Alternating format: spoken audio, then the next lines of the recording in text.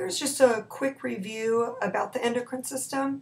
Most of this should be familiar to you. It shouldn't be uh, completely new information, but I wanted to just do a little review to kind of get you going.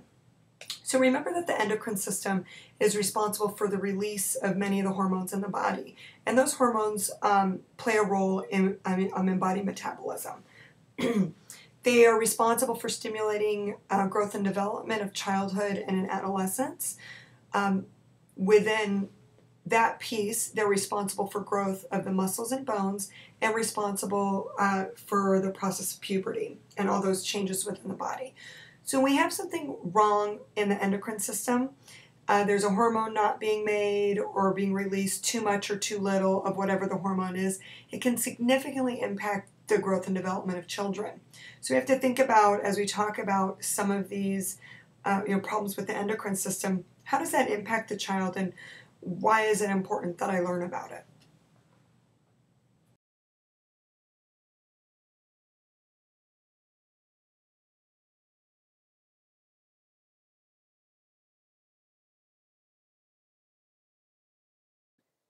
The endocrine portion of the lecture will cover pituitary disorders, diabetes type 1, and sex chromosome abnormalities.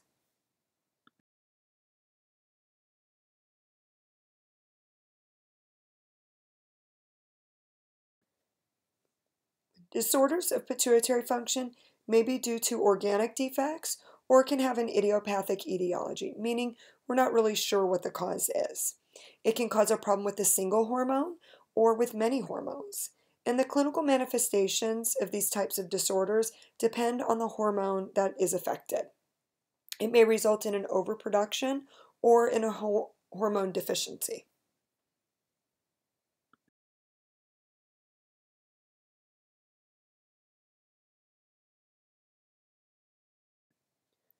One type of hypopituitarism is the growth hormone deficiency, which is caused by a diminished or deficient secretion of pituitary ho hormones.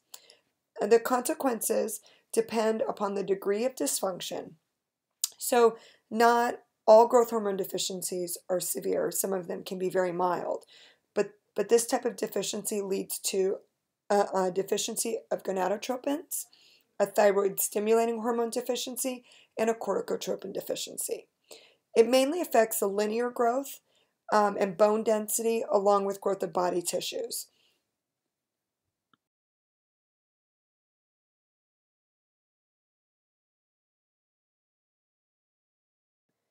The main problem with growth hormone deficiency is the, is the delay in linear growth. However, since it also affects the growth of body tissues, it means that the body is still proportioned uh, correctly. So when you look at a child who has a growth hormone deficiency, they're short for their age, but their body proportions look normal. Their mass is appropriate for their height. Uh, their skeletal and, um, and, sexual maturation is behind that of their peers.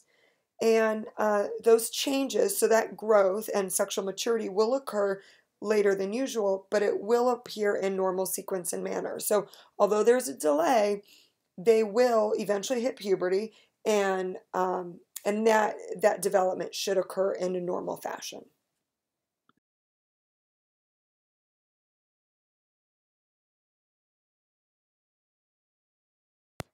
To diagnose a growth hormone deficiency, we look at a couple different things. We start with family history.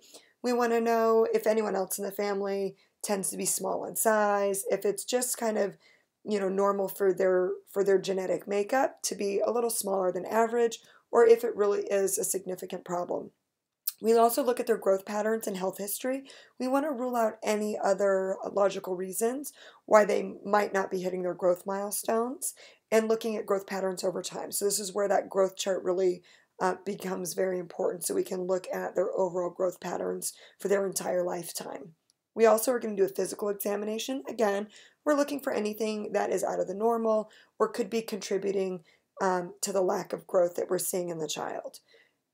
We'll do a skeletal survey, which will include uh, hand wrist x rays. Uh, by looking at those x rays, they'll be able to tell how much growing is left to be done, whether those growth plates are, are active, whether they've fused early, or you know any types of skeletal problems. we, and then the main the main part of testing includes um, endocrine studies. So we do what we call a growth hormone test, and kids will come into the outpatient clinic or um, the outpatient lab at the hospital, and we'll give them medication um, that will stimulate the release of growth hormone. And then we do a series of blood draws um, and test uh, the growth hormone levels in response to the medication. And that will let us know whether there's a deficiency or whether uh, something else may also be the problem. We'll also look at like their cortisol levels um, and thyroid stimulating hormone. We'll look at those at the same time as well.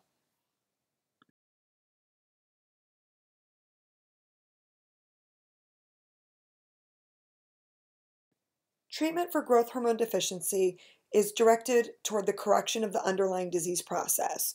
So, the simplest thing to do for these kids is to replace their growth hormone. Um, and this works for about 80% of children. Um, you may be wondering why, if they're going to grow eventually, why we don't just wait for it.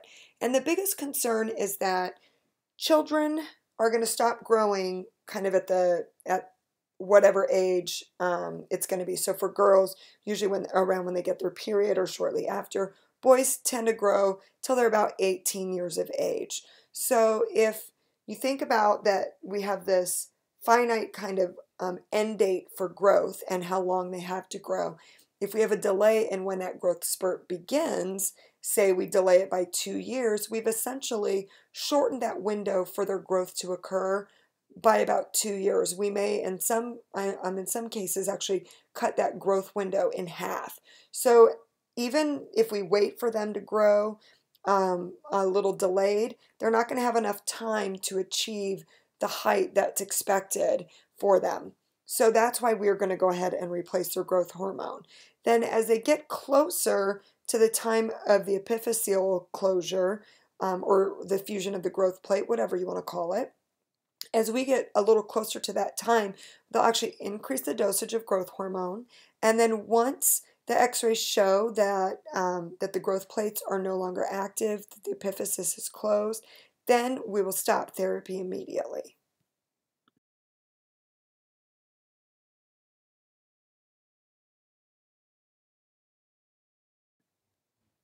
From a nursing management standpoint, the, the most important job for the nurse is to identify when there's a problem with growth. We're the ones that are taking measurements and plotting growth charts, so we need to be able to identify when we see a growth pattern that doesn't look uh, correct or normal um, and reporting it so we can do good follow up. We assist with the diagnosis. We are the ones who complete the growth hormone testing um, and get the blood work drawn and submitted. Um, there may be some family support needs. Now, I mean, it's a growth hormone deficiency. It's not the worst diagnosis in the world. There's something we can do about it, but it still may be very stressful for the kids. They might um, have never been to the hospital before or never had um, any blood work drawn. Um, the idea of getting like monthly or bi-monthly injections can be a little a little intimidating for them. So you know they just might need a little extra support in that area. But, you know, in the scheme of things, it could be much worse. And we also do all the teaching and preparation for testing and medication administration. So we really do the majority of um, of the care of these children um, and all the teaching that goes with it.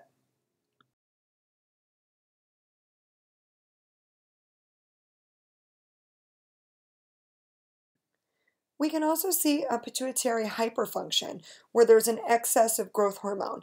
Now, in, in young children, when we have this excess of growth hormone before the closure of the epiphyseal shafts, it just results in an overgrowth of long bones. So their arms are going to get longer, their legs are going to get longer, but it's not necessarily um, going to cause any major problems at this point, except that they're going to get really, really tall. We have seen children reach heights of eight feet or more uh, by the time they're done growing.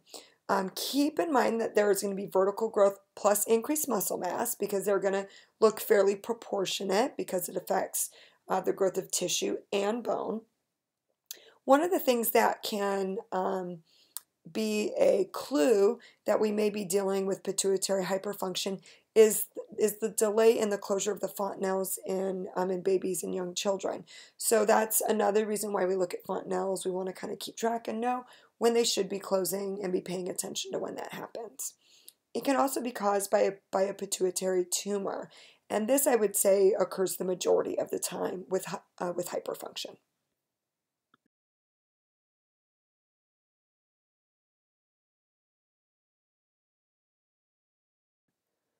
Once uh, the epiphyseal shaft or the epiphysis is closed, sealed, however you want to explain it, once that happens, then when we have the excess growth hormone continuing, uh, we call it acromegaly. And what happens at that point is the the bones are trying to continue to grow, but they're going to grow abnormally. So rather than bones just getting longer when uh, the growth plates are still active, is we see um, like abnormal or we see overgrowth of the head, uh, the lips, tongue, jaw, and nose, because again, it affects the growth of tissues as well.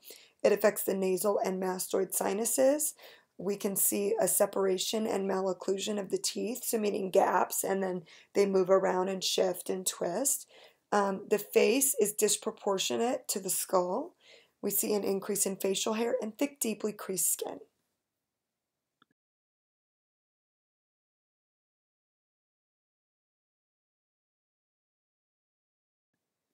So this is a picture of someone who has acromegaly. This is obviously not a child.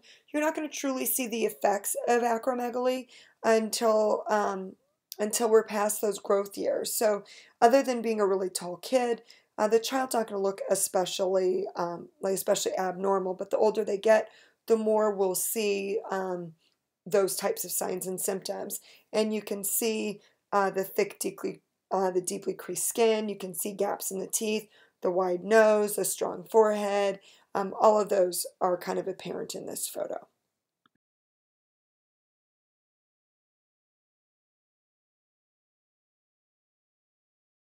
Andre the Giant is one of the best examples of acromegaly.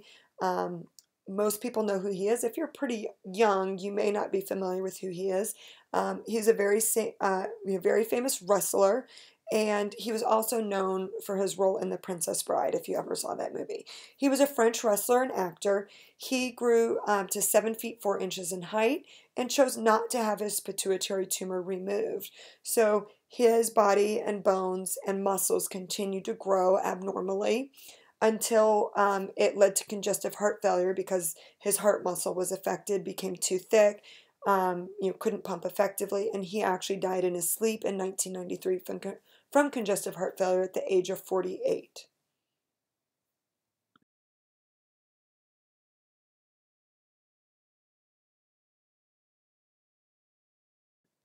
To make a diagnosis of acromegaly, we're going to look at it uh, for a history of excessive growth during childhood. We're going to look for evidence of increased levels of growth hormone. Uh, we'll do x ray studies. We're definitely going to look for and try to rule out a tumor and lots of endocrine studies. So we're going to measure growth hormone levels and look at all that.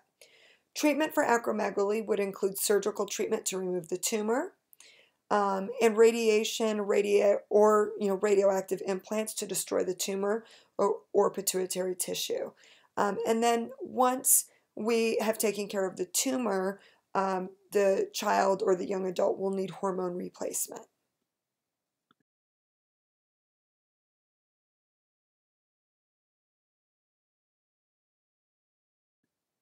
It's important for the nurse to identify uh, children with those excessive growth rates early on.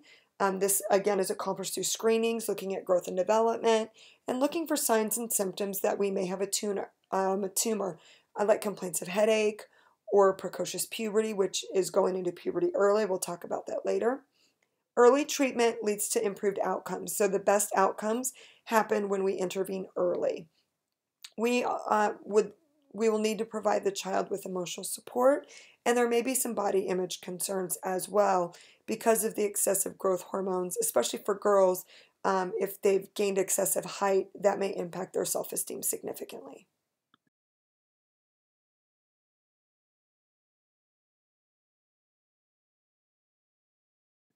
Now, I just mentioned precocious puberty, and this is the you know fancy term for when we see the manifestations of sexual development before age 9 in boys or in girls younger than age 8. 95% of cases of, of precocious puberty occur with no known cause, it is more common in girls. And what, what happens um, with this condition is there's an activation of the hypothalamic pituitary gonadal axis, which is just a fancy way of saying there's a stimulation or an activation of the part of the pituitary that will cause us to start puberty. It happens early and it leads to a release of the gonadotropin releasing hormones. So for boys, we're seeing um, um, an increase in testosterone levels, and for girls, we're looking at follicle stimulating hormone, luteinizing hormone, and estrogen.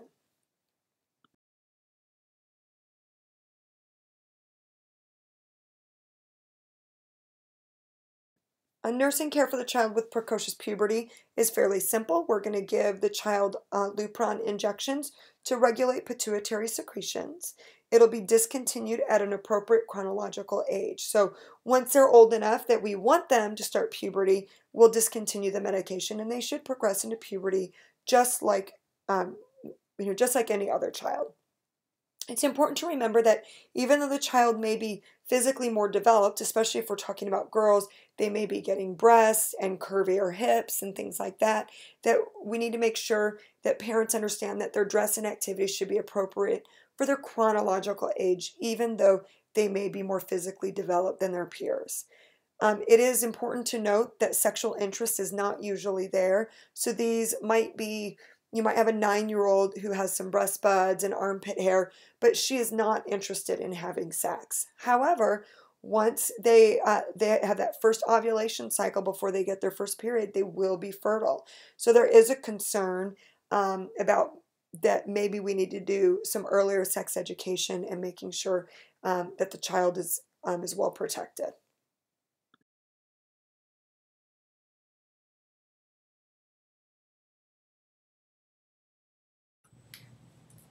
Here's just a quick review about the endocrine system. Most of this should be familiar to you. It shouldn't be uh, completely new information, but I wanted to just do a little review to kind of get you going.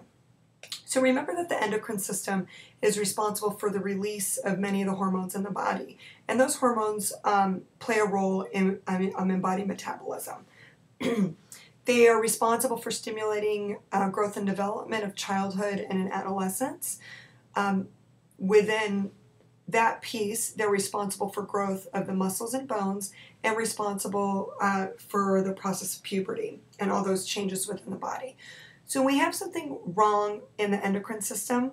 Uh, there's a hormone not being made or being released too much or too little of whatever the hormone is. It can significantly impact the growth and development of children. So we have to think about as we talk about some of these uh, you know problems with the endocrine system how does that impact the child and why is it important that I learn about it?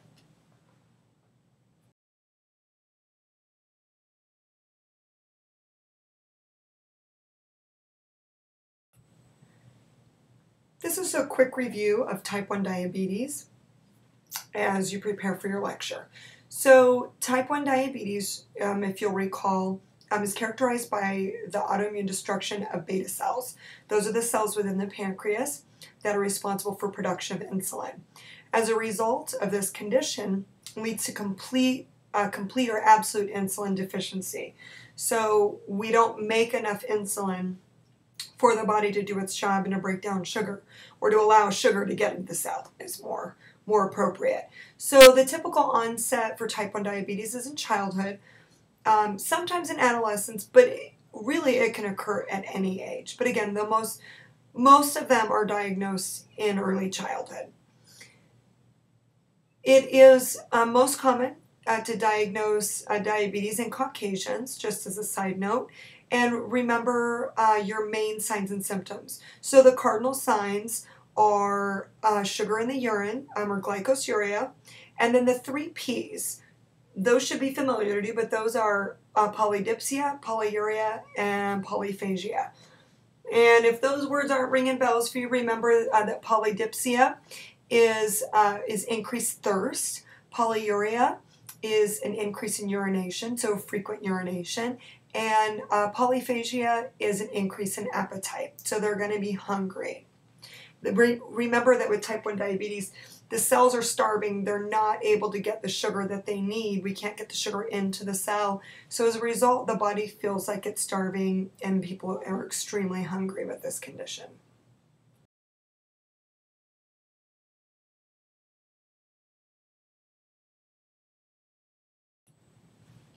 Type 2 diabetes is really uncommon in children. We don't see a whole lot of it.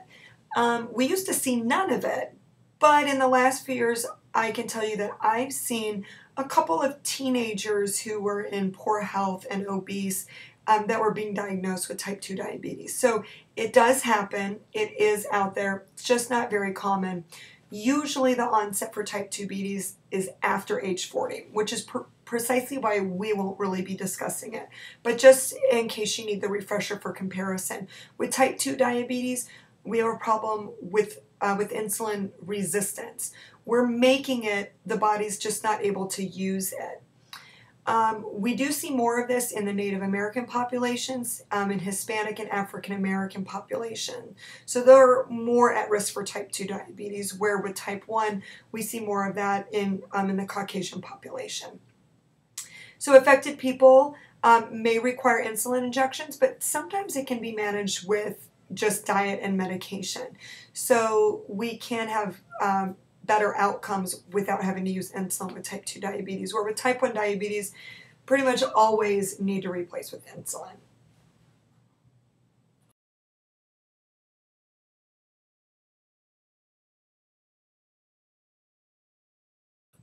Just a quick review on the patho of diabetes. Um, what we have with diabetes is it, you know, whether there's a deficiency of insulin or, or resistance to insulin, basically the glucose is unable to enter the cell. So the glucose is there in the bloodstream, we just ate a meal or whatever it is, and the sugar has been released. The problem is we can't get the sugar into the cell. So just to make it very simple for you, if you're not familiar, the way I always teach our new onset diabetics at the hospital is that if you think of um, the cell as having a lock, a door with a lock on, on it, and the only way that sugar can get through that door, past that lock, um, and into the cell is with a key. And that key that, that, you, that the sugar is going to use to get into the cell is insulin. So without that key to the door to get past that lock, sugar is stuck outside the cell. It absolutely cannot get in there. So once we add insulin, we provide that to the patient, then that key is unlocked, the door is opened, and the sugar can then make its way into the cell, providing energy for our cells to function. That's you know, diabetes at the most basic level of understanding. So what also happens within the pathophysiology, this is short and sweet, but um, because we have this buildup of sugar in the blood, in the serum, uh, the serum glucose is going to exceed what the kidneys are able to process. And so the glucose as a result spills into the urine. That's why we test uh, you know, uh, you know, test the urine for sugar on our diabetic patients. Then, as a result of those things, is your cell is it is essentially starving. It doesn't have the energy, the sugar that it needs to function. So the cell is starving, and it sends a signal uh, signal to your body that says, "Hey, I'm starving here. Help me." So then your body says, hey, this body needs some sugar. And so what it does is it begins to break down uh, protein and uh, you know convert that to sugar. And this takes place in the liver. And so it will break down protein, turn it into sugar, you know, in the hopes that the body will be able to use it.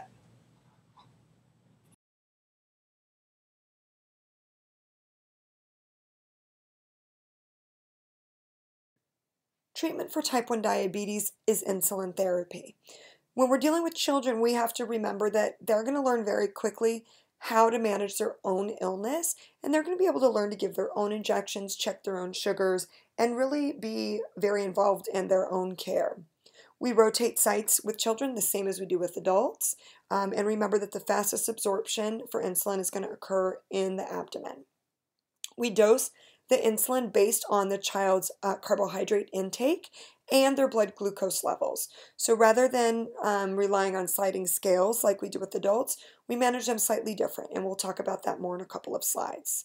For glucose monitoring, the goal is to keep them near the normal levels We ideally want to keep them, you know, between like 70 and 110 um, for their blood sugar level. And we also use the A1C as a guide um, as well in children. So, and you're used to seeing that with adults already.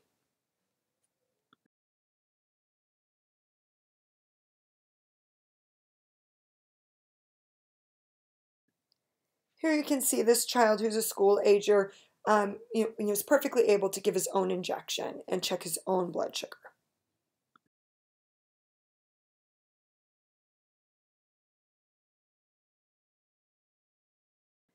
Management of type 1 diabetes includes uh, correct nutrition. So we want meals and snacks that are eaten according to the total calories that are needed for a child of that age and size. We, um, we want to make sure they're getting enough exercise. We don't restrict exercise. In fact, we want to encourage it. But we want to um, make sure they know how to manage, um, you know, manage their diabetes along with exercise, making sure they get snacks before exercise, etc. And lots of teaching um, on how to recognize signs and symptoms of hypoglycemia and how to manage those episodes. More on that in a moment. We want to talk to them about illness management um, and that it's important to continue checking sugar and giving insulin, even though they're, they may not be eating normally. And then the management of um, diabetic ketoacidosis or DKA, um, and that it's considered an emergency and they need to bring him into the hospital. And again, and we'll have more on that in a moment as well.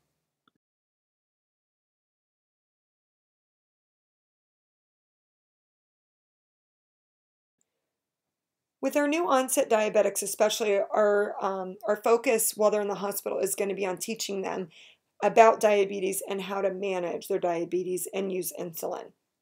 We're going to teach them the nature of diabetes and the pathophysiology. So, what's happening within the body? We need to explain to them that a cell needs sugar for energy, and that um, think think about each cell as having a locked door. And so, uh, insulin is the key to unlocking that door to allow the sugar into the cell. And that if we don't have insulin, that door stays locked. We can't get the sugar into the cell to provide energy. So that's kind of a simple way for us to explain it um, to younger children um, and to parents so they get that beginning understanding of what the heck is the problem in diabetes and why do we have to use insulin. We talked to them about meal planning and choosing the appropriate types of carbs um, and complex carbs and trying to minimize uh, simple sugars and things that we know are going to have a high glycemic index. We're going to teach them how to count carbs and about the carbohydrate ratio. So um, the the carb counting essentially um, is how we're going to determine how much insulin they need after a meal. So um, each child's assigned a carbohydrate ratio or an insulin to carb ratio or a carb to insulin ratio, however you want to say it. So let's say a child is given a ratio of 15 to 1.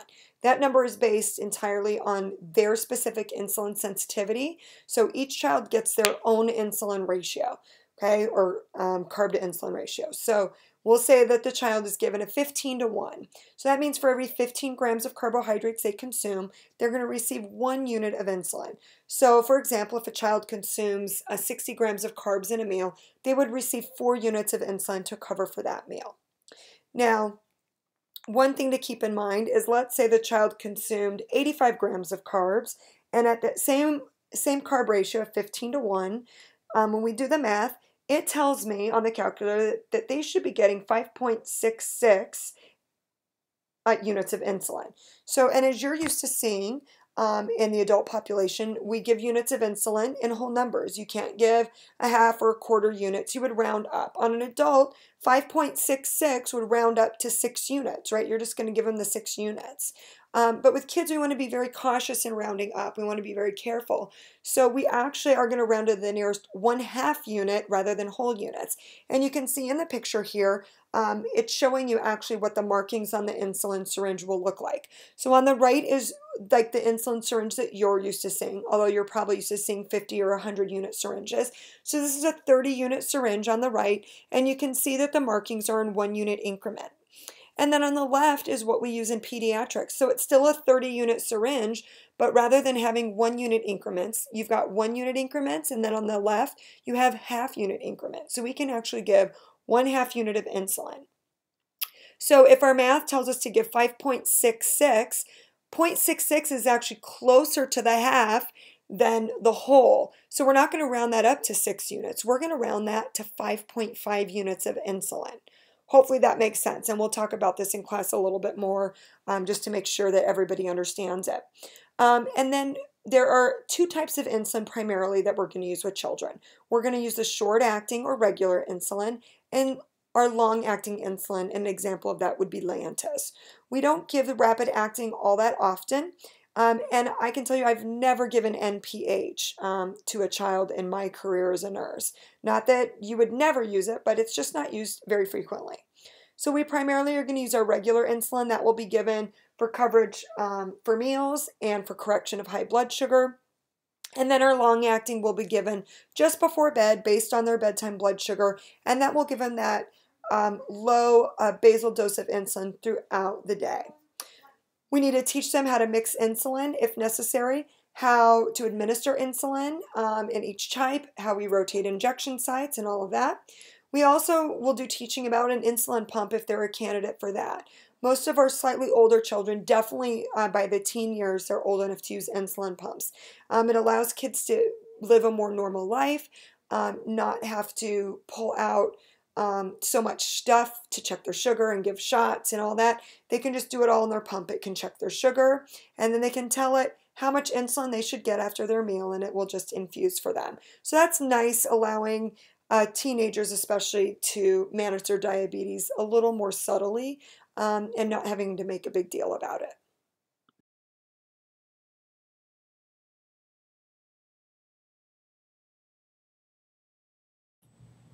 Just a quick note on blood sugar monitoring. Um, you guys should all know how to do this, but just as a refresher, um, you're just going to clean the finger with some warm water. We don't use alcohol. You want to make sure that the finger is clean because in some of uh, the previous studies that I've seen, if you've just eaten something that's full of carbohydrates, grease and sugar, things like that, anything that um, is going to impact your blood, if it's on the surfaces of the fingers, when you go and poke the finger and get that drop of blood, it's going to be contaminated with whatever was on the skin surface. So you want to make sure that the skin is clean. We want to use the ring or thumb finger are usually um, the best choices because the blood flow is a little better to these two fingers.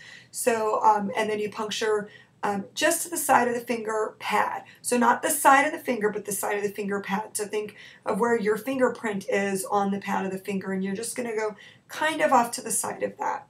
You don't want to push it too hard, and make sure that you have the depth uh, adjusted appropriately. If um, your uh, needle is adjustable. So, and in pediatrics, you'll generally see uh, the variable depth ones because you're not going to go as deep on a two year old as you're going to go on a 12 year old. There's going to be a significant difference in depth. So, you don't need to go too deep. If you go too deep, you're going to cause some bruising and more discomfort, which is really, you know, can be avoided. It's unnecessary. And then we really tend to use the you know, monitors that require the least amount of blood with children so that one we don't have to poke as deep so we can use um, a smaller gauge and a shorter needle. And we don't have to squeeze as much blood out of those kids and it's a little less traumatic for their bodies.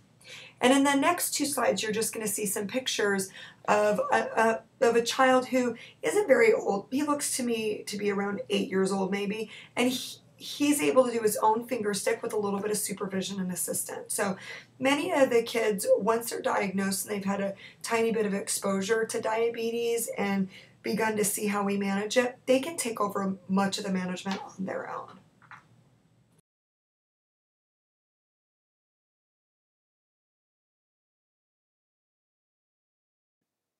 Here we have another school ager who's learning to check their own blood sugar, so has a little supervision.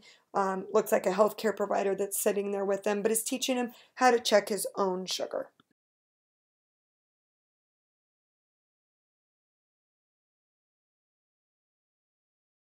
And again, um, the child is able to put put his blood sample into the monitor and run the monitor with a little supervision. So you certainly don't want to leave a child so independent that they're managing their diabetes completely independently, but you want to let them do and touch and have a little bit of control as long as they're appropriately supervised.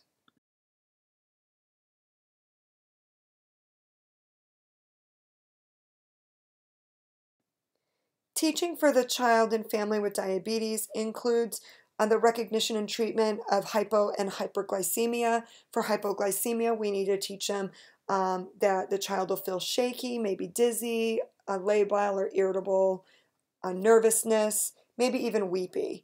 Um, we'll, ha- we'll have them take either some orange juice or some sugar cubes and then follow that up with complex carbohydrates and protein. One of the best examples um, of complex carbs and protein um, for diabetics would be like an apple and peanut butter. It's kind of like the perfect snack. The complex carbohydrate of the uh, of the apple it's going to be a sugar that is digested slowly, and although it will bring up the blood sugar, it will not allow the crash, and the protein will help to minimize crash as well. And then for hyperglycemia, again, they'll be lethargic, confused, um, may even appear drunk at times. Um, so, you know, obviously, a child with this type of behavior would be, you know, really obvious. So, but we want parents to be able to recognize these signs and symptoms. We want to teach them how to manage minor illness um, and how to keep records and when and what to report to um, to their endocrinologist, um, how to clean um, their skin before testing, clean the skin before injections, how um, to draw up their insulin using aseptic technique, and to do everything um, in the safest way possible. And then we want to provide some family support. It can be really scary to parents who are bringing in their three year old um, and getting a, a diagnosis uh, um, of diabetes. That's pretty, um, you know, pretty heavy stuff. It's going to be a lifelong condition that they have to learn to live with and can be extremely overwhelming. So we have to do a good job with teaching parents and providing them the support that they need and really just, you know, letting them know that life isn't over.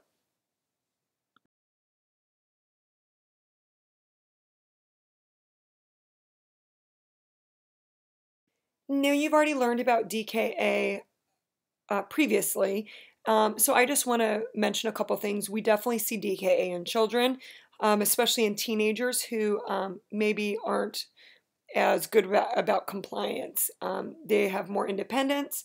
And so, if they're making poor choices um, with food and with their insulin management, they can get into trouble very quickly.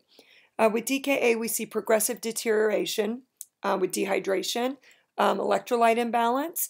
Uh, it can lead to acidosis, to coma, and death. It's considered a pediatric emergency and will be treated in a PICU setting. Um, we're going to give them fluids, put them on an insulin drip, and give them small amounts of sugar. It's going to be done very slowly. Um, we want to monitor their electrolytes and their glucose levels. And then um, trying to get those electrolytes back in balance will be kind of the main priority, um, in addition to uh, their sugar and insulin management.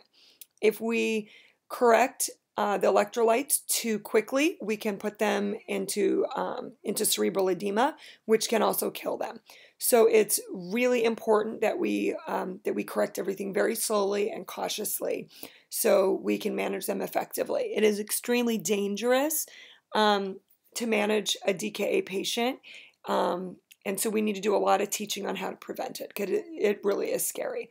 The other thing that you'll see, especially uh, with teenage girls, is they will have uh, symptoms of eating disorder, uh, bulimia, and or anorexia. And what they'll do is they'll manipulate their diabetes in order to lose weight. So we really need to kind of be on the lookout for diabetic patients who have um, like those hallmark signs of eating disorder so that we can intervene um, and get them treatment right away so they don't end up um, in real trouble with DKA.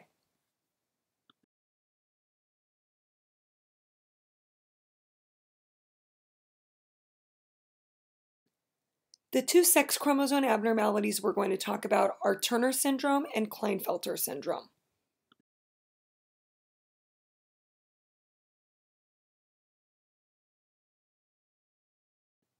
In Turner syndrome, we have an absence of one of the X chromosomes. So it affects only females, and it's, um, it, it has an incidence of about 1 in 2,500 female births. Uh, the manifestations of a child who's born with Turner syndrome is a webbed neck, shield shaped chest, widely spaced nipples, low posterior hairline, and low set ears. So the web neck, if you think about, um, look between your fingers and you know how you have that little bit of skin that stretches where the fingers join the hand. Um, that would be webbing um, in a very small amount. And so that's what happens kind of at the base of the neck where the neck is connected um, above the shoulders. The skin there will be kind of stretched and webbed. Um, the, the low posterior hairline, so if you actually lift up hair or look at the back of the head, um, the the bottom of the hairline there is going to be lower than it is on most people. Um, and then their ears, if they're low set, um, what you'll notice um, if you look at someone, look at their eyes and ears, you'll notice that the top of the ears are generally in line with the corner, uh, um, you know, the center of the eye there. And so what we'll see in these kids is their ears are lower than they're supposed to be. So some of these kids um, will actually uh, wear glasses when they're little and they will sit in an angle because the glasses sit on the bridge of their nose and then the arms of the of the glasses actually sit on top of their ears which are lower. So their glasses actually kind of tilt in kind of um, an upward um, an upward fashion. Um, the other thing that we'll see is uh, as they're at the age for puberty they're going to be short for their age. Um, they're not going to have started to develop uh, features of puberty like uh, breast buds, armpit hair, things like that. Um, they also won't start their periods when they're supposed to, and they are usually infertile. So, um, the treatment um, and nursing care is focused on hormone therapy. So, we're going to do uh, growth hormone to combat the short stature, and then we're going to do some estrogen replacement um, to help them to develop, uh, you know, normal you know normal normal body features for their age so that they will go into puberty. Um, we also will set them up with counseling. So and the counseling is is really related to the potential for infertility. Um, they may at some point need someone to talk about um, uh, you know how they're feeling about the potential to not be able to have children in the future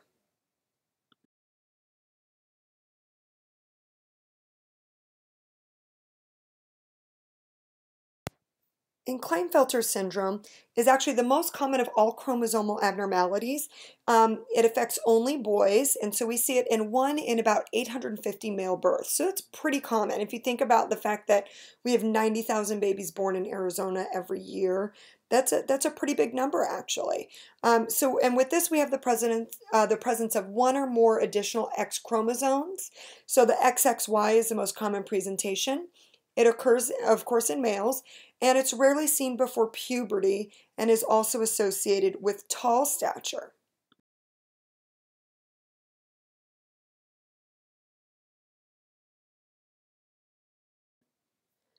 Uh, so Klinefelter syndrome might not even be diagnosed until they go seek treatment for infertility in their adult lives.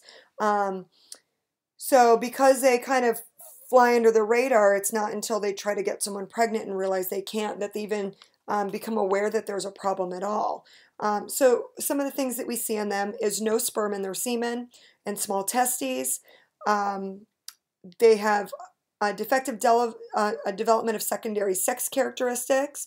So um, they're not going to kind of you know look as manly, so to speak. They're not um, going to get quite as bulky, have the Adam's apple change, um, become you know hairy, and um, you know like all of those things get uh, the deeper voice, all of those uh, changes that we that we associate uh, with puberty in boys. They also can present uh, with cognitive impairment of varying degrees, behavioral problems, uh, can possibly have some gross motor difficulties, poor verbal skills, and shyness. So if we think that a child is just a little quiet or maybe a little slow or has some behavior problems, we may not even pick up on the fact that there's something uh, you know bigger that's going on here. They may just like chalk it up to a little learning disability um, and a little bit of awkwardness. So again, they can kind of fly under the radar until they go try to start a family, and then when they um, you know maybe go for testing for infertility find out there's no sperm in their semen and they start doing some testing and looking into things and um, and find out that this is what they have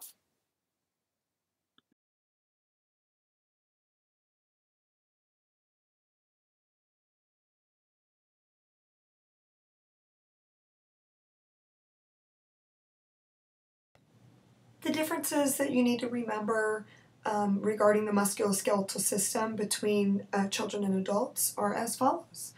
Um, there is a fibrous membrane between the cranial bones. So we've talked about fontanelles, um, and you already know about the cranial sutures and that those close over time. So where those openings are in the soft spots, the fontanelles, there's a fibrous membrane that provides some protection to um, the brain and the layers that are beneath the skull. So that helps to kind of protect um, and hold everything together until those bones close. So that's important. Um, the epiphysis, we've talked about that a little bit already as we've discussed growth, but that's where the osteoblasts replace cartilage. Um, in the process of doing that, it pushes the end of the bone away from the shaft, and this is what makes the bones grow, become longer.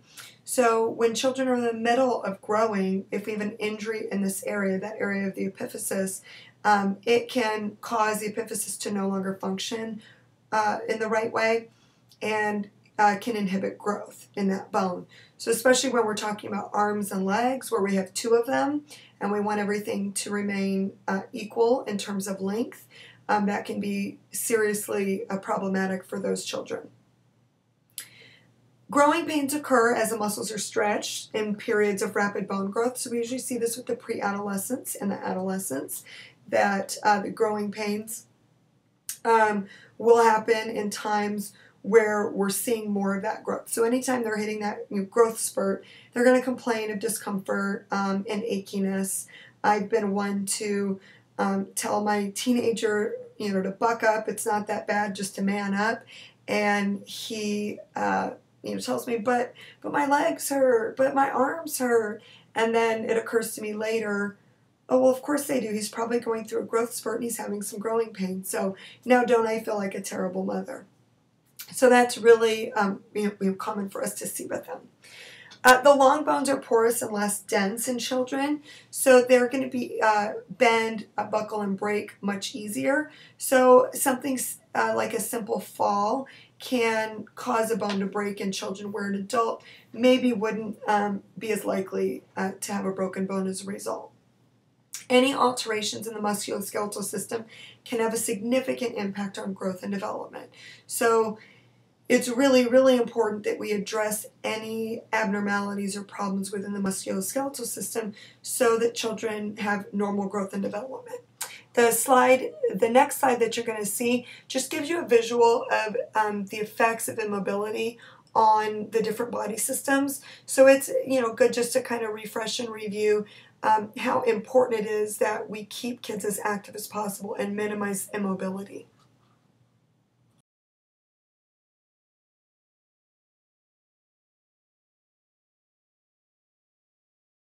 This slide shows you the effects of immobility on all the body systems.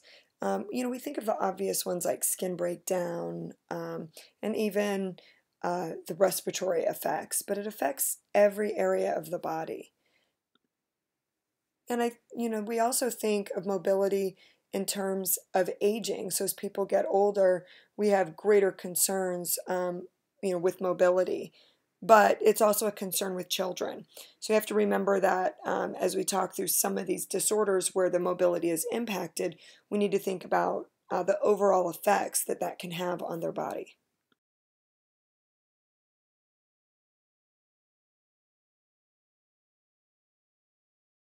Congenital clubfoot is obviously something they're born with because it's congenital, and it is an abnormality in the development of um, the bones and muscles in the foot itself. It actually includes three deformities, um, and I'll show you a picture in just a minute that will make sense. So the hind foot turns inward, the midfoot is directed downward, and then the forefoot curls toward the heel and turns up, almost so that the sole of the foot is um, now in an upward position. It ranges from mild to severe. So you could see these where um, you look at the feet and it, they don't look that abnormal, or it can be extremely severe and, um, and require uh, significant intervention.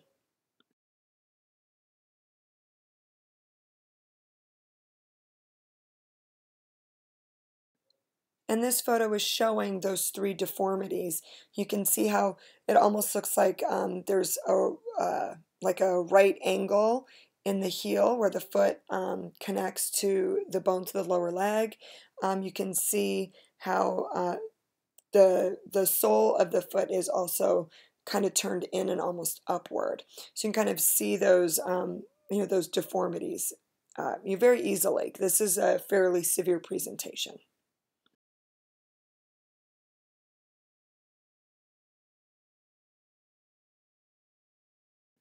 There are a couple different treatment options. So this can correct on its own. Um, we can teach parents uh, some passive exercises that they can do um, to improve the mobility of the feet. Um, but serial casting is the most likely treatment. This is considered the treatment of choice. Um, it requires early intervention. So we can't wait a really long time and let the child um, start to grow and develop for a few months before we intervene. So this is going to be something that's done fairly early. And I'll show you a picture of what that casting looks like. And then we can also do surgical intervention. So this will be done when either the serial casting was not effective or if it's very severe case and they really don't believe that the casting um, will improve uh, in, you know improve the function. So then they'll go in, um, they'll realign everything the way they want it, put in pins, cast it, um, and in addition to that, they may wear a brace or corrective shoes as um, as they're you know they're learning to walk as they're growing up.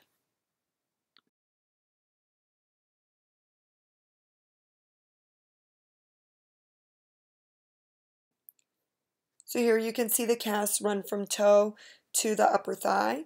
Um, and this is going to be done fairly regularly. I said serial casting, that's because there are going to be multiple stages. So we're going to leave the casts on for a little while. Then we're going to take them off, give the skin a little rest, and then apply new casts.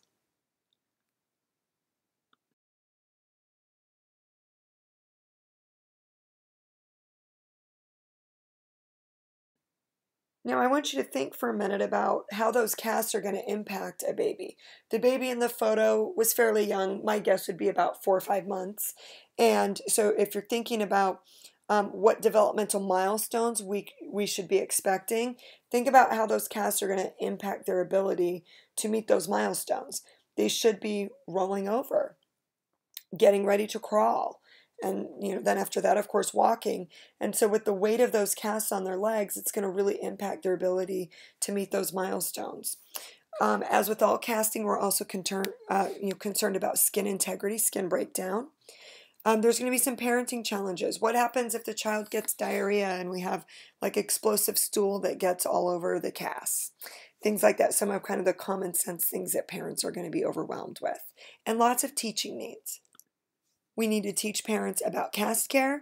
We need to teach parents um, how to improve or um, to contribute to their normal development despite the cast being in place, how to do range of motion exercises, um, all of that type of stuff, what to do if the cast get dirty, all of that needs to be included in our teaching.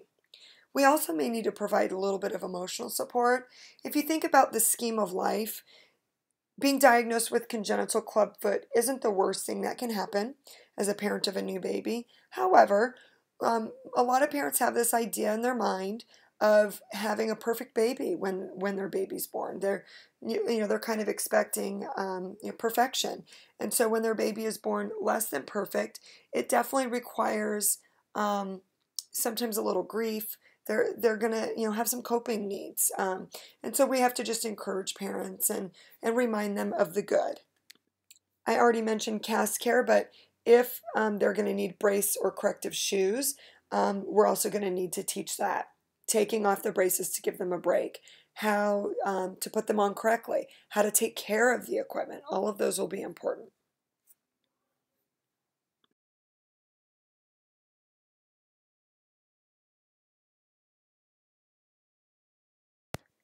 Developmental dysplasia of the hip, or DDH, is um, is a problem where uh, with the alignment of the femoral head and the acetabulum. They're not um, they don't line up exactly correct. Um, it can present in varying degrees, and the next slide will show you pictures. Um, we can have a dysplasia, a subluxation, or a dislocation, depending on how misaligned they are.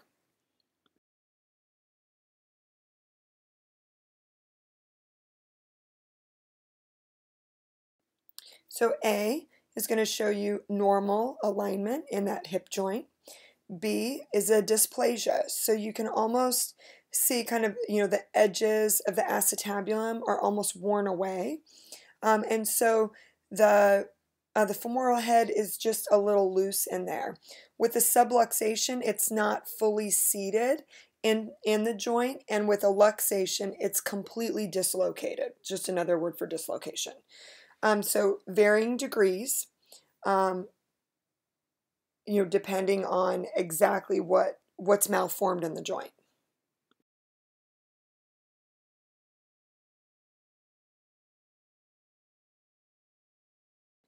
DDH may be present in up to 3% of newborns.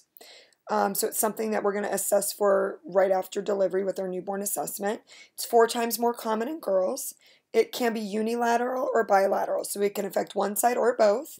And we don't really know why it happens. There's um, thoughts it may be there's a genetic component, um, and then kind of another school of thinking that it's the mechanical forces of late pregnancy and birth. If you think about how jam packed um, that little baby is in utero, and you know how difficult um, that or you know the stress that that can place on the hip joint itself. So that is believed by some to be um, the more likely cause.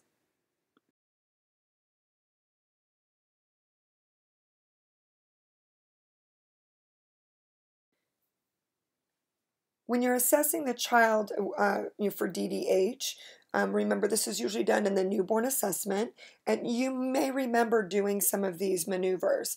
Um, we're going to have a limited ability to abduct the affected hip. So that's um, if you have your patient laying flat, just moving the leg out to the right, but you know, leaving it kind of in line with the body. Or if you're standing upright, the ability to lift that leg out to the side. Okay, we're going to have some asymmetry of the gluteal and thigh fat folds. I'll show you a picture of that on the next slide. Um, you'll have a shortened limb on the affected side uh, because what happens is when we have that dislocation, the muscles will actually tense and pull and it'll um, bring the leg in or up a little closer to the body so that limb will be a little shorter. We'll also see the Allis sign. This is um, um, an abnormality that when we flex both knees, one knee, the, the affected side, you know, one knee will be lower than the other. And then lastly, or the most common one, and, and, you may be familiar with this one, is the Ortolani maneuver or the Ortolani test. And um, so what happens is we'll have a positive, uh, you know, a test that is positive for the Ortolani click. So when we um, rotate or do range of motion on those hips, we'll actually bend the legs, push the knees up toward the trunk, and then we'll rotate them out to the side, down, around, and back in. Um, and what will happen is you'll see, or you'll, I'm sorry, you'll hear or feel a click when that's done, and you're actually hearing um, the, the femoral head pop in and out of the acetabulum.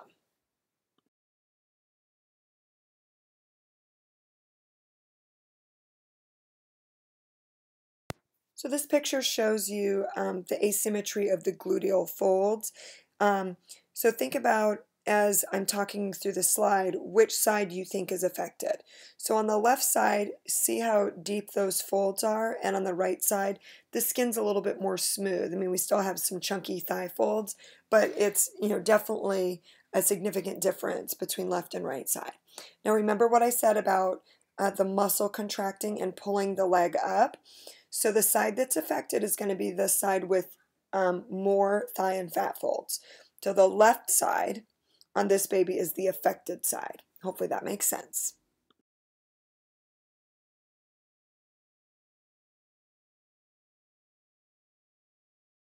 And this photo just shows um, someone in the process of performing the Ortolani maneuver. So they're getting ready, um, you know, or, you know, have, you know, begun to rotate the legs out to the sides and then they'll bring them around. Um, so you can just get an idea of how that's done.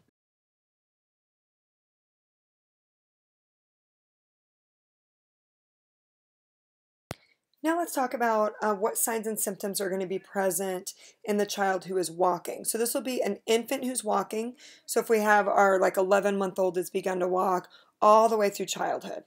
So in the walking infant and child, what we're going to see then is the affected leg is shorter than the other. That is really no different. Um, but because they're walking, what we're going to see is a limp. When they walk, um, the femoral head, when they put weight on, is going to push up in um, to the acetabulum and then come back out in between steps. So they'll actually limp um, as they're walking. And we can see marked, marked lordosis if we have bilateral dislocations. Now remember uh, that lordosis is when we have um, an accentuation of the curve of the lower spine. So um, where we normally have the spine dip inward toward the abdomen and back out, it will be much more accentuated. And then we'll also see a, um, a waddling gait if the dislocations are bilateral because we'll now have a limp in both legs. So they'll kind of have like a waddling or shuffling gait um, because they're not able um, to walk very quickly. Every if they lift off the ground and take a big step, that's going to make that limp worse. So they're going to have just a funny walk.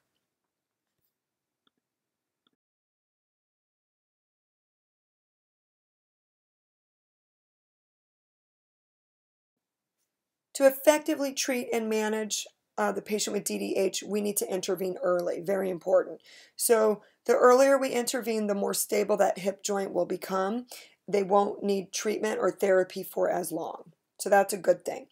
From the newborn to six month age, what we're going to do is put them in a Pavlik harness, and that picture will be on the next slide.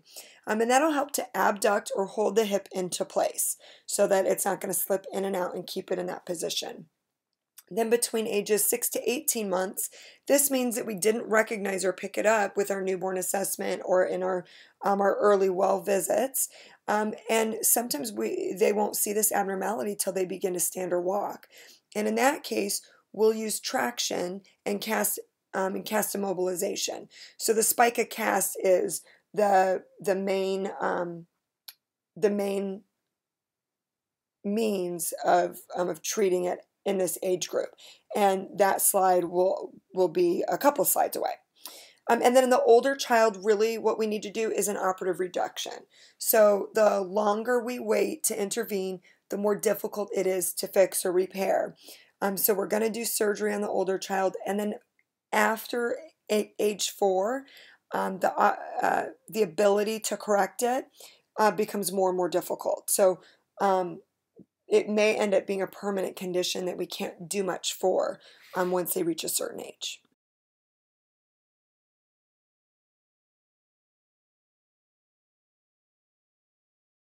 So here you can see the Pavlik harness.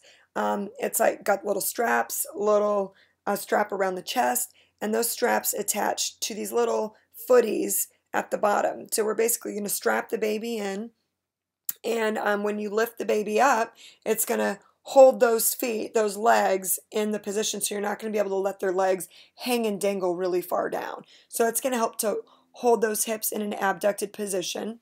Um, one thing to note is that normally the child would wear like a little onesie or t-shirt underneath to prevent any chafing of the skin. So here they've taken the shirt off so you could get a good picture. But just keep in mind, um, we wouldn't do this against bare skin. We'd have something underneath of it to protect the skin.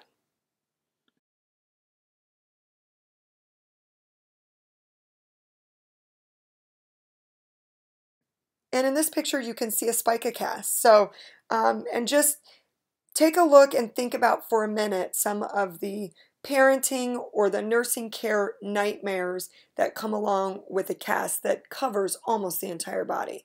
So as you can see, this cast starts up in the armpits, goes all the way down the belly with a little hole in the center, and then down each thigh all the way to the ankle. So there's not a lot of exposed skin here. So think about from a nursing standpoint and some common sense, what are your biggest concerns here? And we'll talk about that on the next slide. Um, there is an opening here in the belly, and, and that's mainly for assessment so that you can get your stethoscope in there, take a good listen, hear heart and lung sounds. Um, makes it a little bit easier, um, you know, to manage their care. One additional thing I want you to be thinking about uh, as we go through the next slide is how difficult would it be to diaper this child? Think about that for just a minute, um, and, we'll, and we'll talk about it on the next slide. Um, And what happens if we get diarrhea? Think about how difficult it would be to keep this cast clean. What about food bits falling down the top of it? Things like that. So, definitely challenging for parents and caregivers.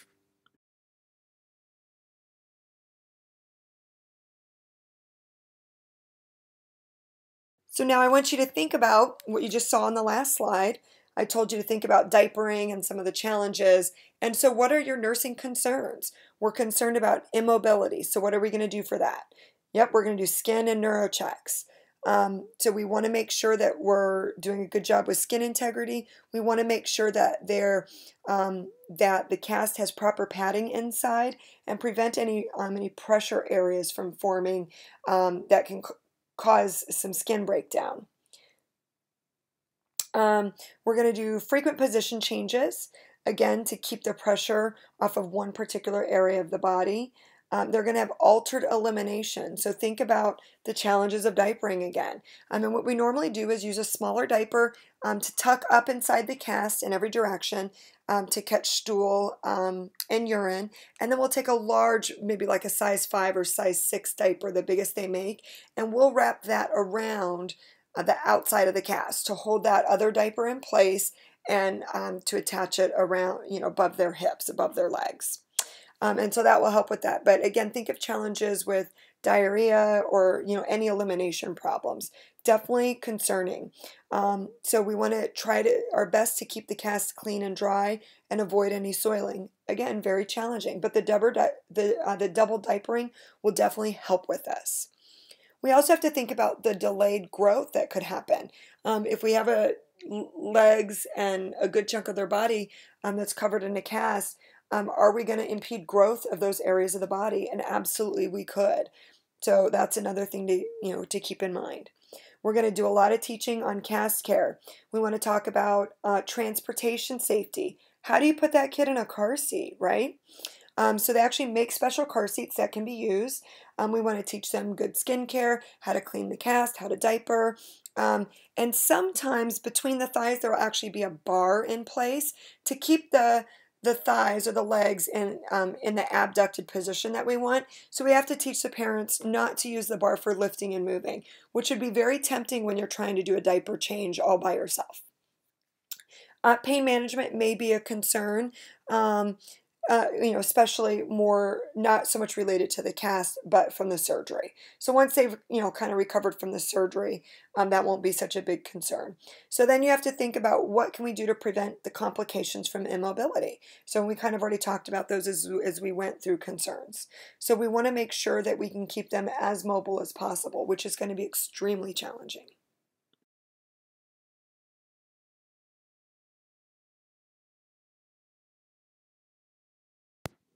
Scoliosis is a lateral S or C shaped curve of the spine. So this is a side to side curve. So what happens really is the ribs on the concave side, on the inside of the curve, are forced close together, and those on the outside of the convex side are spaced wider apart. The disc spaces will also be narrowed on the concave side and will be widened on the convex side. So this causes some asymmetry in the vertebral canal. It's the most common spinal deformity that we see, and it is more common in girls. In fact, pretty much every patient I've taken care of in the hospital having surgery for scoliosis has been a teenage girl.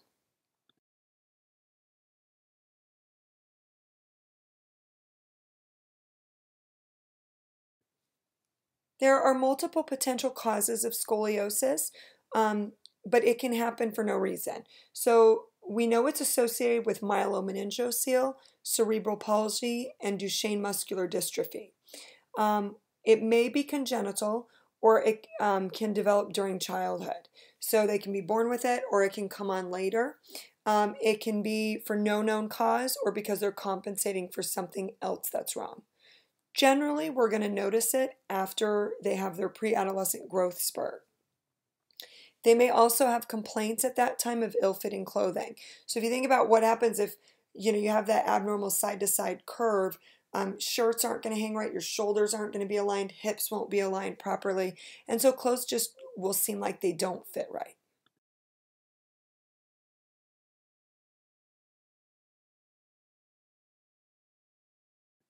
Here you can see a couple different presentations. So picture D shows you normal, straight up and down. Um, e shows you mild scoliosis. So we just have that slight side to side side curve just under the shoulder blades. And in F, we have a more, uh, you know, severe scoliosis. Um, so this is a severe scoliosis where we aren't even able to realign the shoulders and hips. So sometimes we can have a compensatory curve where we're able to keep the hips and shoulders aligned, but the curve in between is pretty severe. And then G shows you uh, the rib hump and flank asymmetry that we see with scoliosis.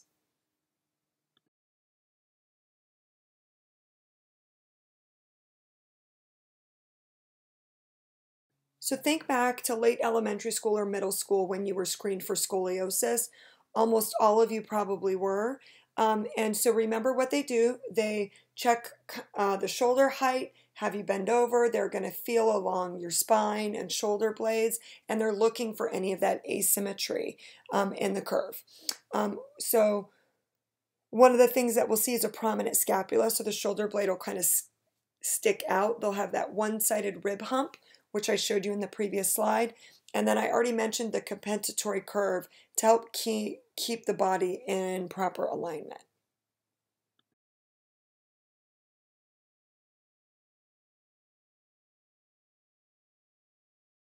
We take a team approach to treatment of scoliosis. So we're going to have multiple disciplines involved. Um, one of the things that we'll do is a bracing with the TLSO brace. That's a th- thoracolumbosacral orthotic, if you want to get really technical, but it's much easier to just say a TLSO brace. Um, and people who work PEDS are very familiar with that type of brace. We see them a lot. So we're going to do bracing. Um, we're going to provide them with instructions for exercises to help strengthen the muscles of the back and help uh, minimize complications and keep their alignment. Um, in the correct position. Um, if it's very severe, we'll do surgical intervention. So they'll actually go in uh, with instruments. They'll do what we call a spinal fusion. They'll realign and straighten the spine with internal fixation. So think about how painful that must be for them to put rods and pins all along the spinal column. So it's an extremely painful recovery. These kids are actually probably the most difficult patients I've ever taken care of. They are typically teenage girls, so they are emotional. They are um, not used to coping with pain. You know, as teenagers, it's you know they probably haven't had a lot of painful experiences, so it's their first exposure to really significant pain. Um, they can have major blood loss. Um, they almost always get their periods right at this time because of the stress and then they have this very painful surgery they're trying to recover from. So they are just miserable, miserable patients. And the parents are stressed out because they're worried and their teens being difficult and they give you bad attitude and um, and they can be really, really sick and in a lot of pain. So they're a very challenging patient to care for.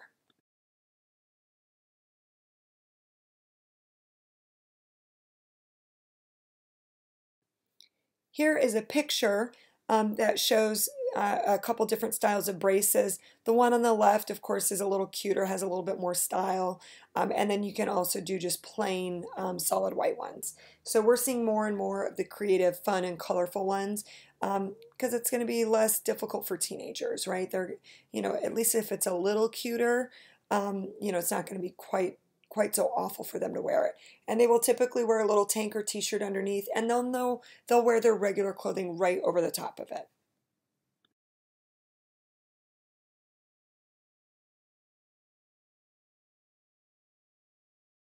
We're going to jump back to surgery for just a minute. I wanted to show you those braces first. Um, so I already told you a little bit about uh, about caring for that teenager, that child. Um, there are going to be concerns um, of body image for this child because of scarring. They have uh, sometimes a pretty large incision. I've seen them go all the way from like T3 all the way down to the lumbar region. So they can have really big incisions. Um, they, you know, it, it's going to impact their body image.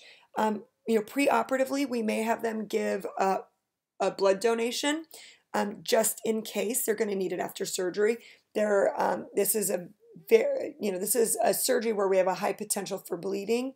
Um, and I've actually seen um, one child in the ICU receive, I want to say it was about 21 units of blood over the course of um, two or three days with the surgery. So it, it can be um, very dangerous in terms of blood loss.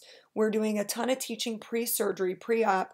We're going to teach them about a PCA pump, how um, that's your patient controlled analgesia, if you don't remember those abbreviations, so that they know when they wake up from surgery, they will be have, uh, you know, in control of uh, their pain medication.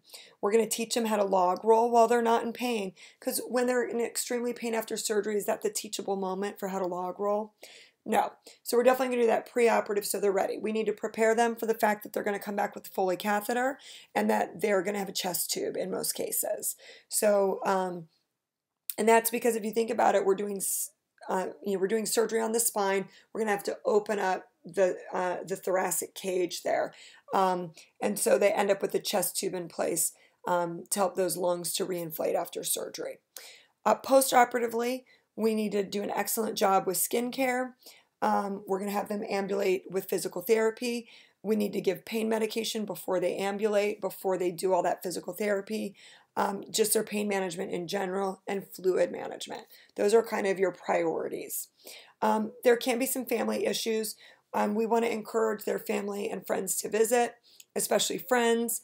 Um, we want to help keep the teenager connected. But as I mentioned before, these teenagers are pretty grumpy, pretty irritable, um, and they're not always all that nice to their family members. So sometimes they need a little, um, a little bit of tough love from the nurse to, you know, not in a cruel way, but to remind them, hey, you know, don't talk to your mom that way, or you know, you need to be respectful. Your mom is here trying to help you take care of you you know you know i don't i don't want to hear you talking that way so and sometimes a little comment uh, here and there will will do a lot to change their attitude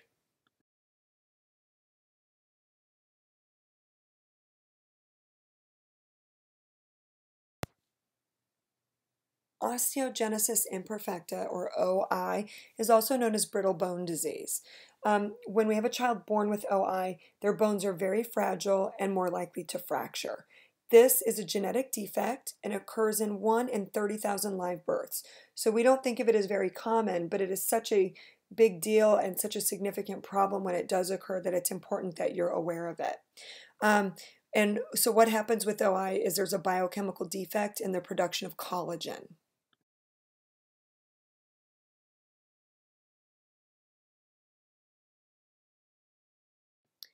There are different types of OI. Um, so we're going to go through um, three of those types. Um, so type 1 is the most common and accounts for about two-thirds of all cases. Um, with this, we have multiple and frequent fractures. Um, they will actually um, have blue sclera, thin, soft skin, increased joint flexibility, weak muscles. they have soft, pliable, and brittle bones.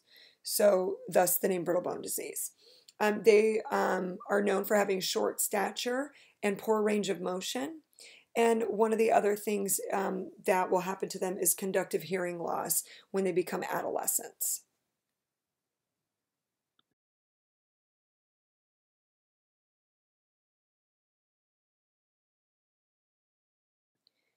Type 2 um, is lethal. So um, they are either going to be stillborn or they'll die early in infancy. They have severe bone fragility with multiple fractures at birth. So even just the trauma of a vaginal delivery is enough to overwhelm their bones with fractures. So this is really, really, um, you know, of course, the worst type um, for, for a child to be born with. Um, and then type three, we have uh, a severe, severe bone fragility that leads to severe and progressive deformities. So, um, in these cases, it's going to be identified after multiple fractures. So these are those kids that have these fractures in childhood, and um, and uh, you know they'll start to have these manifestations a little bit later on, and they'll start to be able to put the pieces together. They're not going to grow normally, um, and the blue sclera will manifest. And so when all of these things start occurring together, they'll put it uh, you know, they'll make the connection. And most of the child with type 3 are going to die in childhood.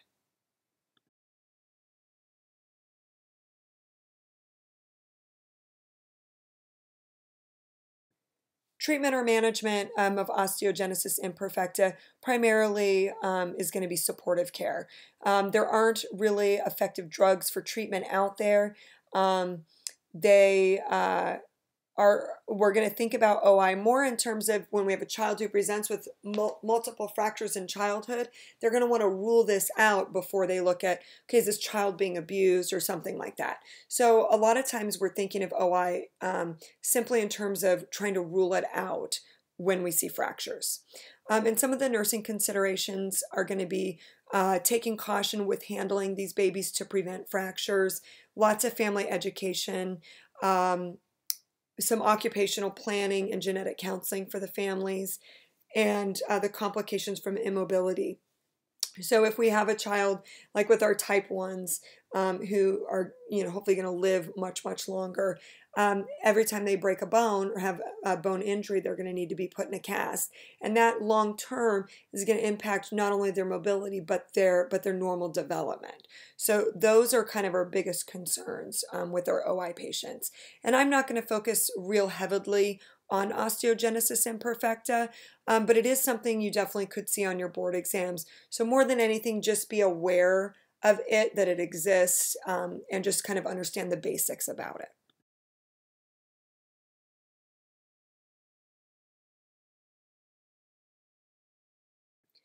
Legg-Calvé-Perthes disease is um, a disease that affects the hip. Um, and what we have with this disease is a temporary circulation disturbance to the femoral head, causing ischemic aseptic necrosis. Um, 10% of the time it is bilateral, meaning affecting both sides. So essentially, what happens is the blood flow is interrupted. So when we don't have enough blood flow, then the tissue, the bone, is going to start to die. And really, the underlying cause for why this pathophysiology is occurring is really unknown. There are some suspicions that it may be caused by trauma um, by some kind of inflammatory uh, type of disease or issue. And um, there, there's also a suspicion that it could be caused by coagulation defects, so you know problems with clotting. But we really don't know exactly why it happens, or why it happens only in children.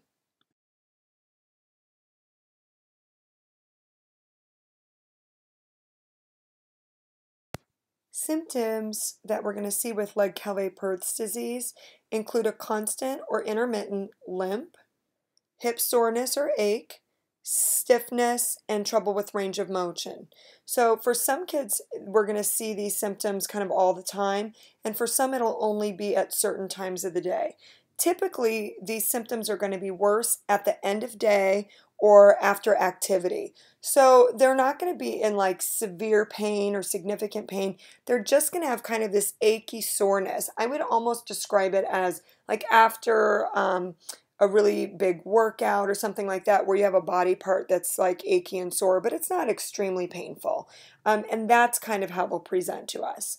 Um, and we're going to confirm the diagnosis with an MRI. We'll be able to see the lack of blood flow on the MRI.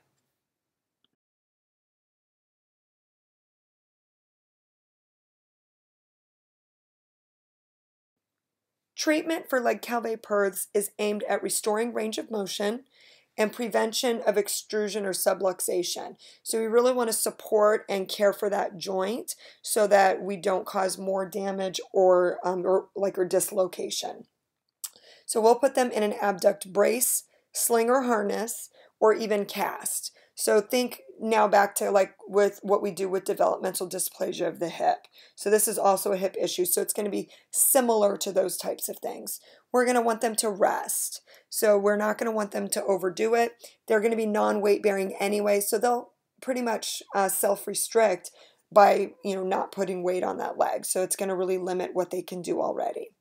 Um, we could po possibly see them in traction um, and in some cases even go perform surgery to try to restore blood flow to the hip. So it just kind of depends on their presentation and you know severity of symptoms. Young children, so those under five, do have the best prognosis with this disease.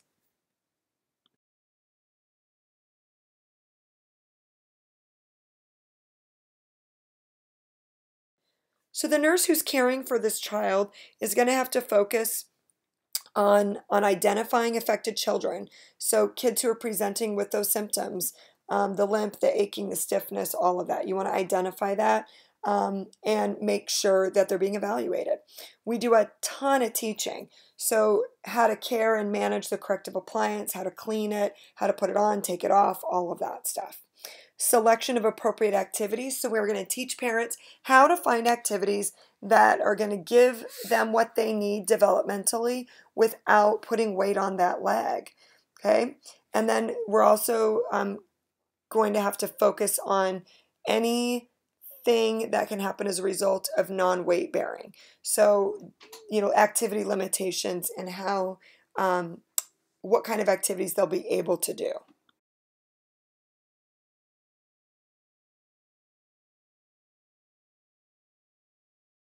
Muscular dystrophies.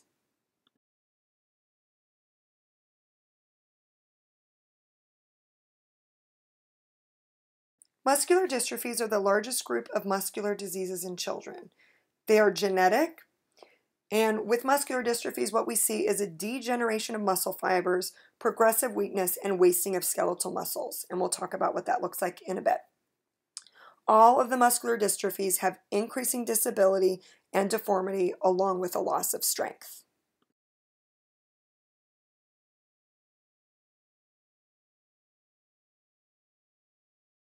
We're going to focus specifically on one type of muscular dystrophy, and that is uh, Duchenne muscular dystrophy, or DMD.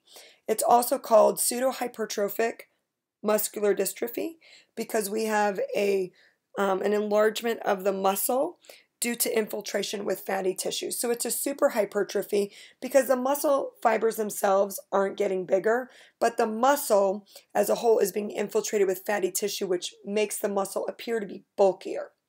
This is the most severe and most common of muscular dystrophies in childhood. It's an X-linked recessive gene, which means it's only going to affect males, and uh, the incidence is 2, 2.2 to 5.5 in 10,000 live male births. All the females in the family may be carriers of this disease.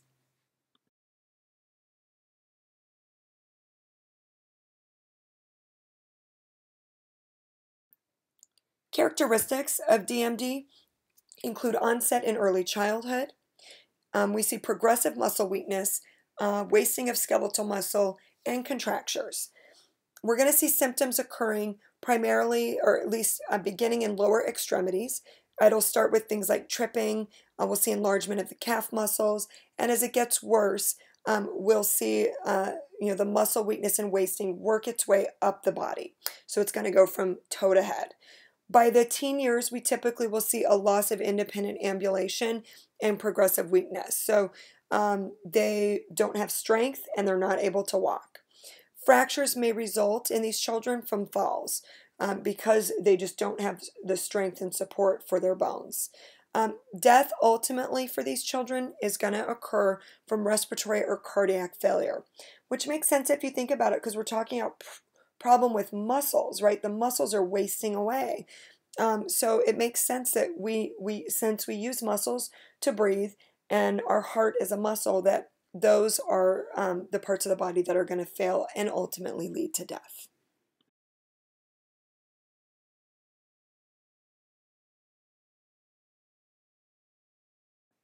Clinical manifestations of DMD include a waddling gait, frequent falls, lordosis, the hypertrophied calves, which we already talked about, profound muscular atrophy in later stages, so it won't be profound at first, but will become that way. Mental deficiency can be present. Um, we see a mild mental deficiency in about 25 to 30% of patients.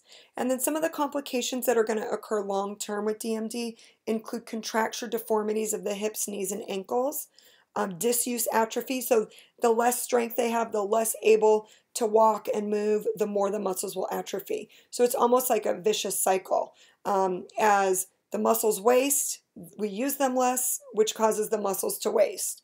So it, it just will exacerbate the issue. And obesity. And if you think about um, these are going to be kids with normal appetites.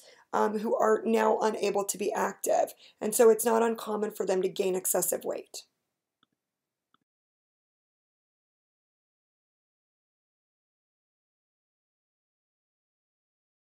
This picture shows a young boy with muscular dystrophy who's receiving tube feedings. Um, so he goes to school as much as he can. He's going to be able to do some of his schooling via computer at home. But what I want you to notice is in this photo, I want you to look at his muscle tone. Look at his calves. They got very little shape to them. His face almost um, has a droopiness to it. His mouth kind of droops down in the corners. Um, he just doesn't have a lot of muscle tone. So, and that is very typical of what a child with DMD uh, will look like.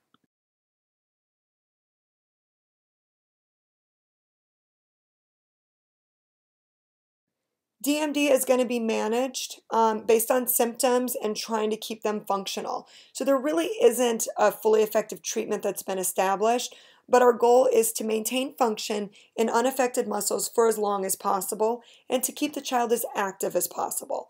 So this is going to be accomplished through range of motion exercises, bracing, massage, um, you know, making sure that the child is uh, you know, performing as many of their ADLs as they can a surgical release of the contractures to um, uh, to help maintain their mobility for a longer period may give them a little bit of relief and extend uh, the period of mobility that they have. Um, and then we have to also look at needs of the family, which include genetic counseling, uh, respite care, so breaks for these families, and uh, getting them in touch with support groups. So your nursing care is really going to focus on providing um, these services, uh, these treatments, and just giving the family and the child support. Um, the good news is there's a lot of research that is going on with Duchenne muscular dystrophy. Think about Jerry's kids. Um, you know, hopefully that kind of rings bells. Um, he, you know, was very involved in raising money um, for kids with uh, uh, with muscular dystrophy. So there's a lot of research being done out there. They're looking at gene therapies and stem cell transplant and how those may be used to find effective treatment for DMD. So hopefully in the near future, we'll see more effective treatment coming along.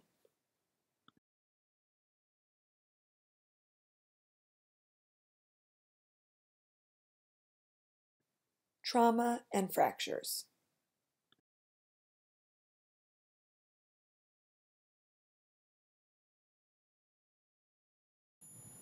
Fractures I'm just going to do a quick review on. We're not really going to talk about it much in class, but you do need to be aware of fractures. They definitely occur in children, but you've learned all about them.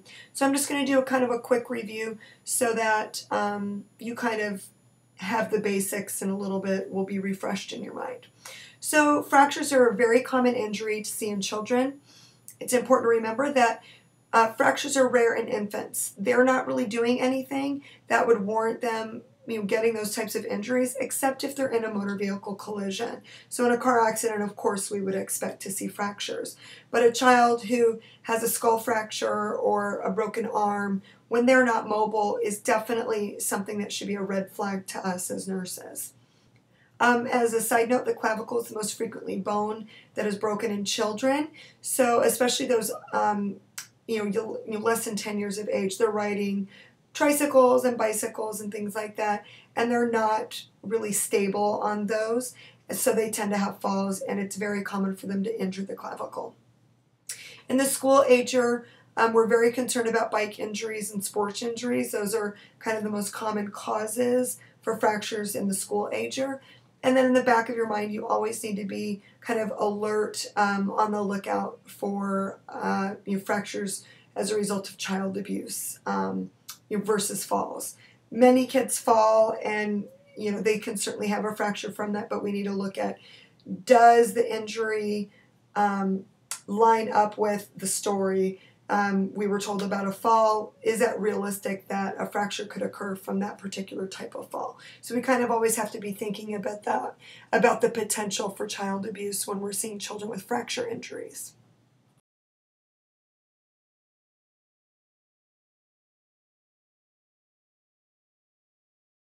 Just take a look at the anatomy here of the bone so that you get an idea um, where the growth plate is, uh, the epiphysis, um, and then the growth plate just beneath it, uh, the metaphysis and diaphysis. So just kind of be aware of those parts within the bone. That'll make more sense when you get to the next slide.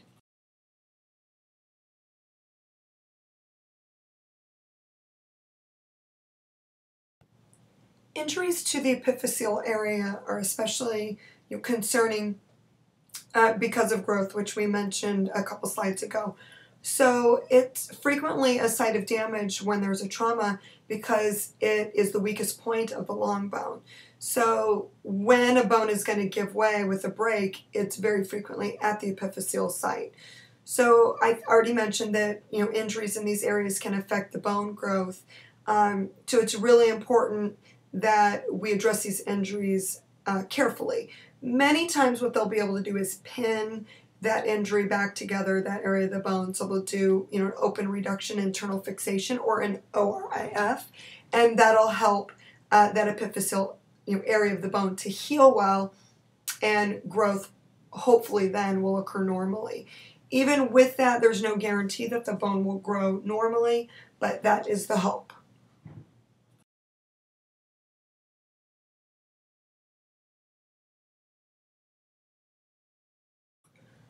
None of this should come as a big shock to you. You should be familiar with the clinical manifestations of a fractured bone. So this is just a quick review. So um, what we'll see on children who have a fracture, they may have some, not all of these, uh, generalized swelling, pain or tenderness, abnormal positioning, like if the bone is sticking out of the leg, that's a good indicator that it's probably broken. If the leg or the arm or the body part you know, is twisted looks obviously deformed, that's also a good clue. Um, the limb or the area where the broken bone is occurring will usually not function normally, so we'll see a diminished function, won't be able to walk on it or lift it or move it. Um, we may see bruising, um, very likely to see guarding. Kids are very um, adept at trying to protect areas of injury. So they will guard the area. They won't put any weight on the leg or the arm. Um, they'll avoid it at all costs. And you may see some crepitus, or, or rather, feel some crepitus.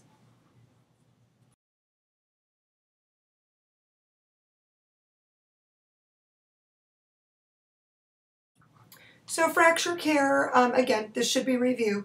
Treatment is aimed um, at you know restoring function.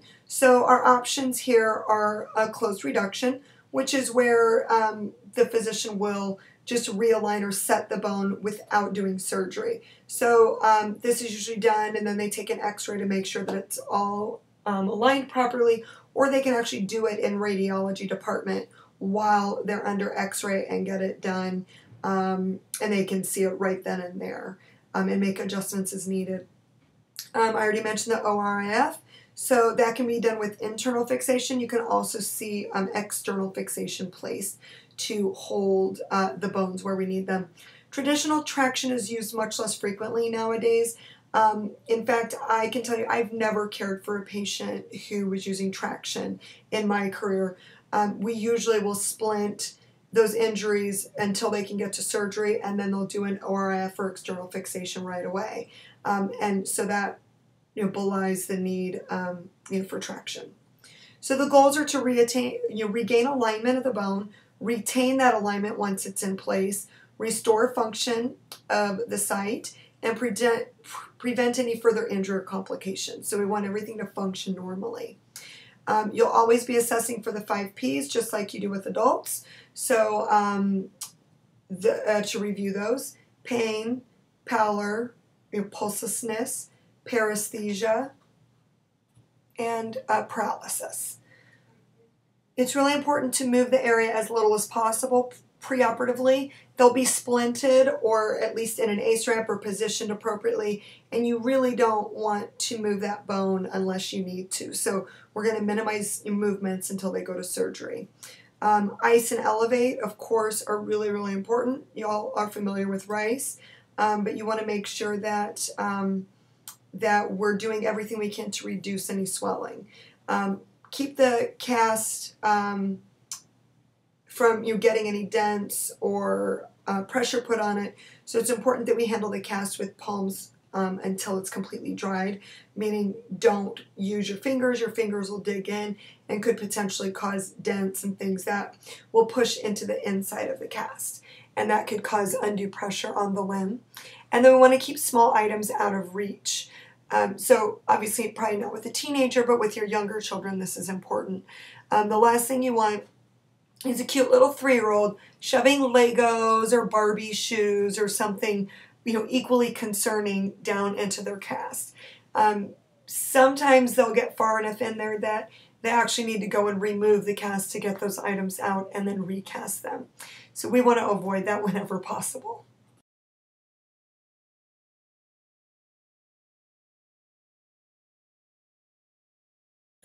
Okay, these next two slides um, just show you uh, traction and the different types with, with some pictures to represent. Um, I don't really focus on traction um, on your exams, but it is something you can see on your state board exam still. So you should at least have an idea of what traction is, why it's used, and, and the like. Um, I would focus on making sure you understand 90-90 traction, which is very common with children, and Buck's traction. Those are kind of the two um, that I hear about the most frequently. So I, I would look a little bit at those and kind of understand what those look like.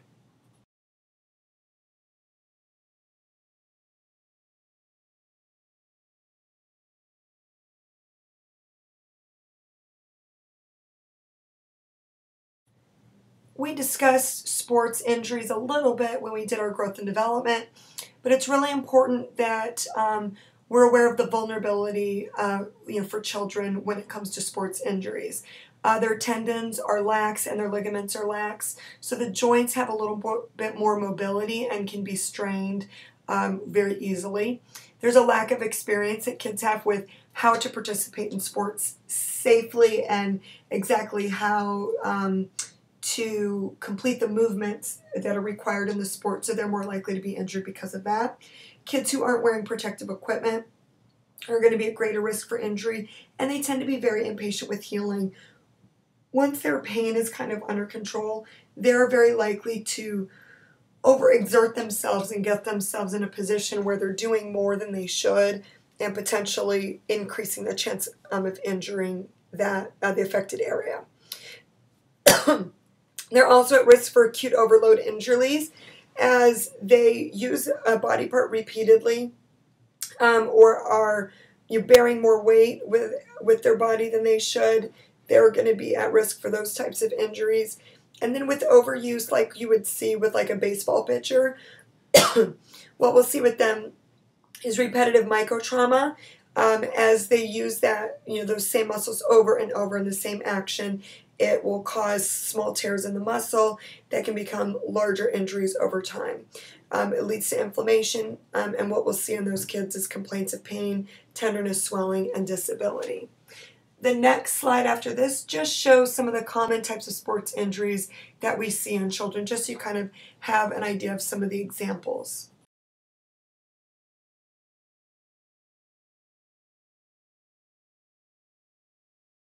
Here on this slide, you can see some of the common sports injuries in children um, by sport type. So um, some of the riskiest sports, of course, are those um, where we have a lot of physical contact or um, or repetitive use. So we end up with uh, you know repetitive injuries.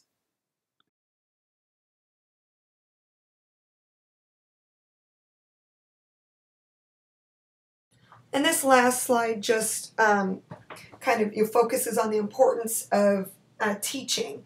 So we want to make sure that we're providing good education to parents so that they know how to keep their children safe as they participate in sports. It's important that the coaches are qualified and have undergone uh, training in how to keep kids safe as you know they coach whatever sport it is that they're involved in. Uh, these will help to you know, minimize injury and enhance you know, the performance of the child. Um, it's important that we teach kids to warm up and cool down so we reduce the chances of strain on joints and muscles. And then, really, the most important thing is we're going to really push the importance of protective equipment. You know, helmets, uh, face masks, eye protection, mouth guards, elbow and wrist guards, gloves, knee pads, shin guards, um, you know, etc but that covers the majority of them. And I can tell you as a snowboarder, my kids snowboard and my husband and I do as well.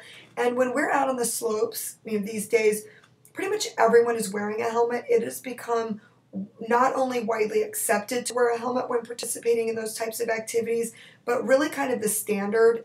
And it's considered pretty cool to wear helmets. Um, you know, you know, within the young uh, you know, people that are participating in these extreme sports, if you look like it, at the X Games um, and Olympics, everyone is wearing a helmet. So it's really become more the standard and expected that kids will wear, wear helmets, which is wonderful.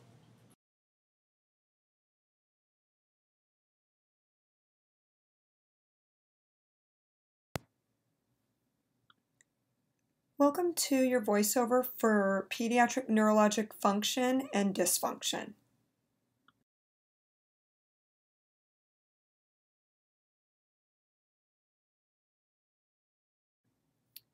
Let's start by reviewing the pediatric differences of the neurologic system. Um, the infant's brain and spinal cord are greater risk for injury because of a couple of different factors. One is that we have an incomplete ossification of the bone. So the skull is, um, we could say the bones are slightly on the soft side. So, like if we lay a baby in one position all the time, we'll actually see that section of the head um, get a flat spot, and that's because those bones aren't fully hardened yet. We also have open fontanelles in infants, which put their brain at greater risk for injury. The nerve cells are immature, takes many, many years for nerve cells to completely develop. Um, so our brain growth isn't even complete until between 12 and 15 years of age, which always makes me wonder why teenagers aren't a little smarter with their decision making. But that is neither here nor there. Um, we also have incomplete myelination at birth. So the brain and spinal cord aren't fully myelinated. This is why we see reflexes in babies, uh, those primitive reflexes like the startle, moro, rooting reflex. All of those are primitive reflexes. And as that myelination occurs, those will begin to go away. So, and if you think about it, the myelination occurs in a head to toe fashion.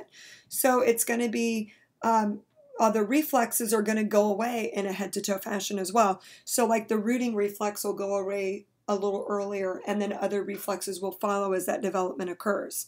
This also is um, will occur in conjunction with acquisition of fine and gross motor skills.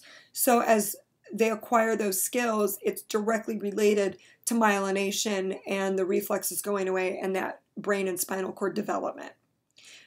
Also, in children, the brain cells are easily damaged if blood flow and oxygenation are not maintained. So, um, their cells are more are more vulnerable to oxygenation problems. So we really want to avoid any hypoxia in children because they're going to be at greater risk for injury as a result.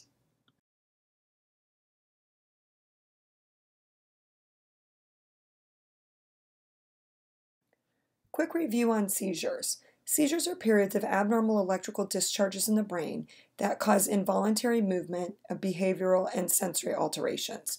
So they're caused by a malfunction within the electrical system of the brain. We can have non epileptic seizures that are typically the result um, from acute illness or medications, and these will cease when the problem is resolved. So, um, with epilepsy, this is when we have recurrent unprovoked seizures. So, seizures are a characteristic of epilepsy, but not all seizures are epileptic. Um, and it's caused by a variety of pathologic processes in the brain. Um, and optimal treatment and, um, and prognosis requires an accurate diagnosis and determination of cause. So, in simpler terms, for us to be able to accurately treat someone with seizure disorder, we need to know why they're having seizures. And that is where the challenge lies.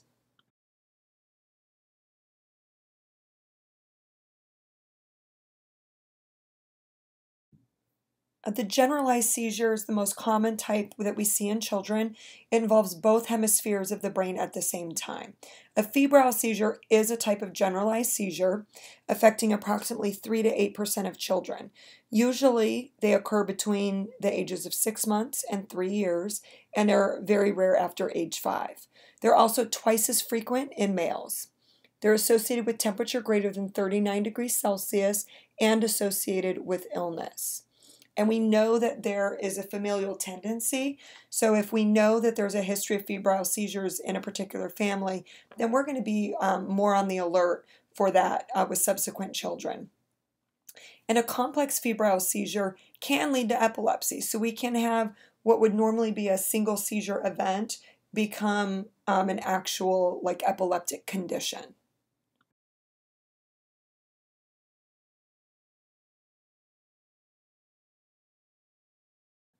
So let's talk about general seizure management. Your nursing interventions include assessment and monitoring. Those are kind of the primary focus. We want to observe seizure activity, observe their level of consciousness, and for signs and symptoms of hypoxia. We're also going to monitor them during their post-ictal period as they recover from their seizures. Your priorities on your patient with a seizure are their airway. So we're going to position them on their side, make sure their skin is pink in color.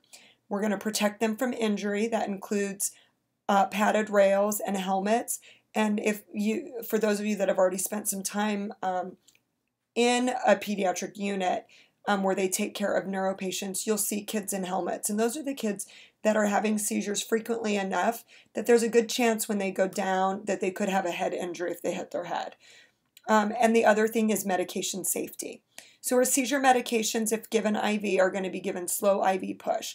Pushing a seizure med too quickly can cause can cause significant side effects and complications, um, and may even lead to you know really severe problems.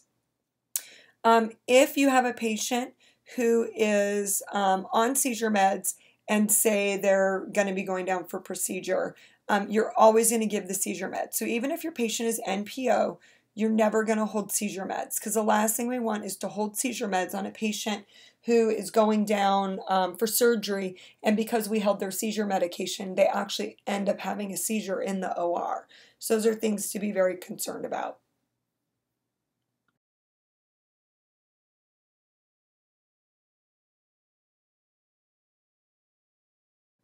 In seizure management, the goal is to control seizures or reduce at least the frequency and severity.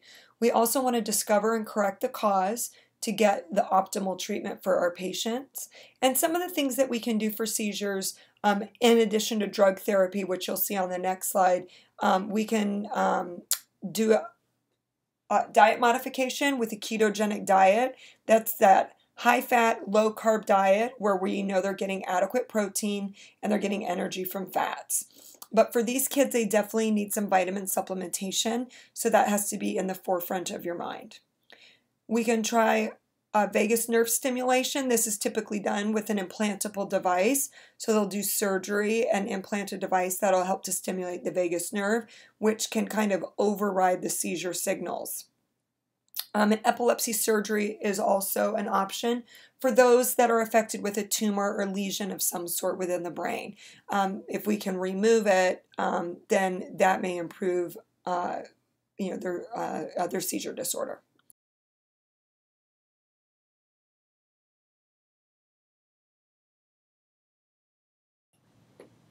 These are some of the common seizure medications that we use in children.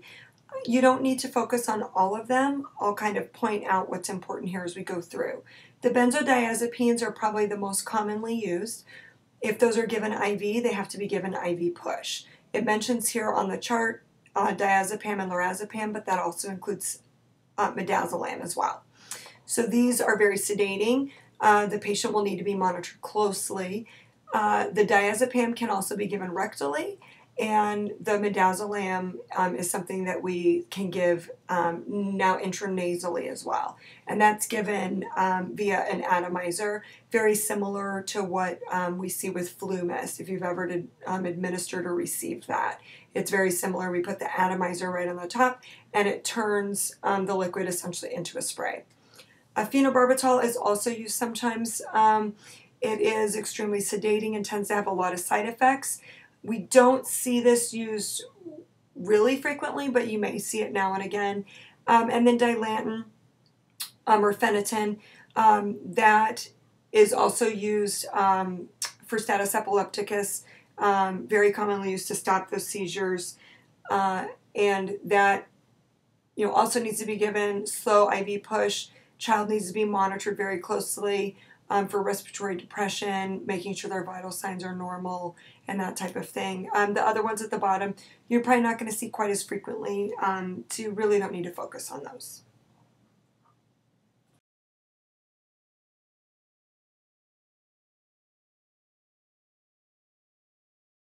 The treatment goal for a child with seizures is for them to live as normal a life as possible.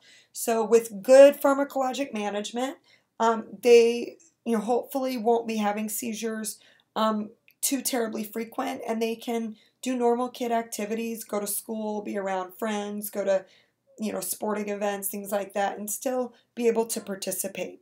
Um, so to make sure we're doing a good job with pharmacologic management, we need to monitor therapeutic levels as indicated depending on the medication we're using. We need to remember that the dosage will likely need to be increased as a child grows. Um, we may need to monitor for known side effects and, uh, and avoid abrupt discontinuation of the medication.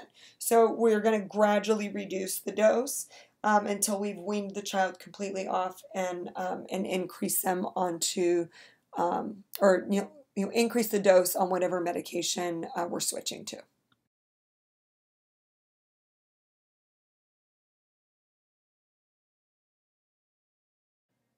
I already mentioned uh, status epilepticus. That's where we have continuous seizures for up to 30 minutes, or even if we're having back-to-back seizures with um, with almost no rest time in between. On those patients, we want to get a set of ABGs. We want to give them oxygen, and then we want to get get IV access so we can give them medications. So, and I, of course, already mentioned uh, the diazepam can be given rectally if we can't get a line, or we can do the intranasal uh, midazolam or Ativan. Um, and then both can be given IV. So those are kind of um, the drugs of choice. And, um, and then you can see in the table below, it shows you what your management includes, um, which of course is maintaining their airway, keeping them safe, administering oxygen, um, and, and med safety. So those are, um, you know, you can kind of read those on your own as well to fill in the gaps.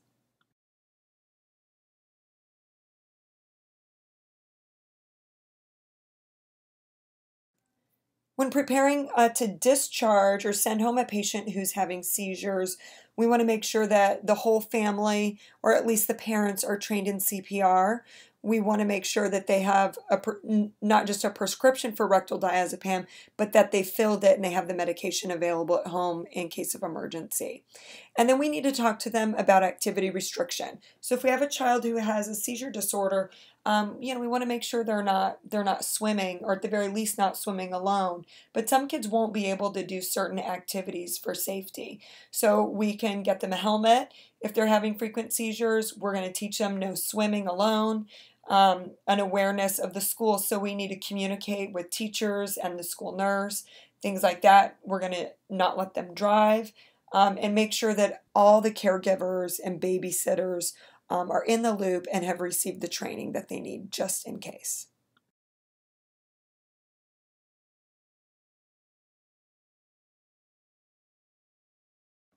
Reye's syndrome is associated with viral infection that's being treated with aspirin. So we can give aspirin to a child who doesn't have viral illness and um, them not have this complication occur.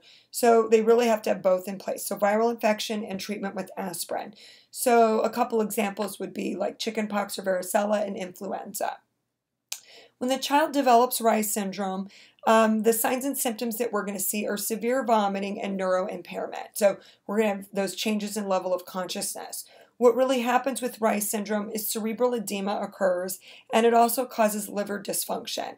So as they get worse, the cerebral edema will get worse and worse, throwing off electrolytes. And then the, um, and then as the as the liver as the liver dysfunction gets worse, we'll see their liver liver enzymes and ammonia go up. So this is really rare today due to the elimination of aspirin use in children. We just don't use aspirin these days because we don't want to take a chance. So um, you shouldn't see this very frequently. Um, the which is the good news. The bad news is it has a very high mortality rate. So if we have people who aren't who aren't educated and don't know, um, th- this is you know really bad news for children. It can definitely kill them. Um, so it's important that we teach parents to give acetaminophen or ibuprofen for viral illness and fever. So we want to make sure that we're teaching parents just don't use aspirin. It's so much easier to not use aspirin, um, with the exception of those few times where we know uh, that aspirin is going to be extremely helpful in treating them. But the benefits really have to outweigh the risks.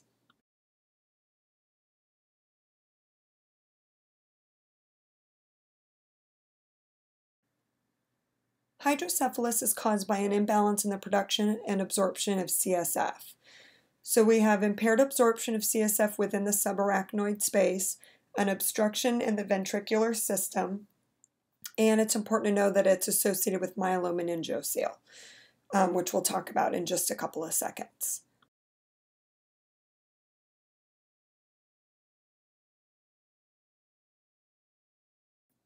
Here's a picture of what happens uh, with hydrocephalus. So on the left is a normal head and brain, and on the right you can see the hydrocephalus. So um, the lateral ventricle, third ventricle, um, and fourth ventricle are filled with CSF because it can't be reabsorbed effectively. So that makes the ventricles fill and fill and fill with CSF, which puts uh, pressure on the brain matter and the brain stem and it's going to cause uh, pressure all throughout the head. So we end up with a bulging fontanelle, and it's actually going to push down on the brain stem, um, and it can, it can actually lead to, uh, to a herniation of the brain stem.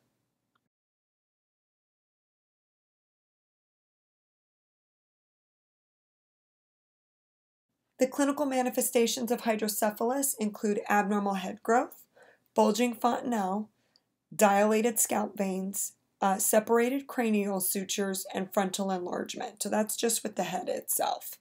Um, so those are going to be kind of your hallmark symptoms. We can also see the setting sun sign, and that's where essentially if you were to draw a line right across the center of your eye uh, from corner to corner, you'll see that that line kind of goes right through uh, your pupil and your iris. And so what happens is the pupil and iris, or the eye itself, actually drops down so that it peaks up over the lower lid, almost like a sun setting on the horizon.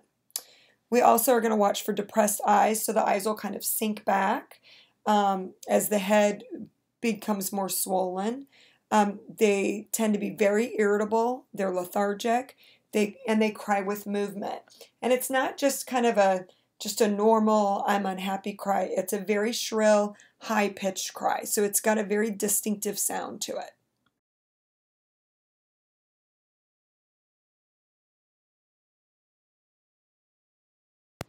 Therapeutic management includes relief of the hydrocephalus. So essentially, we want to drain the cerebrospinal fluid from the ventricles um, and you know relieve that pressure. Uh, and we'll talk about how that's done in just a minute.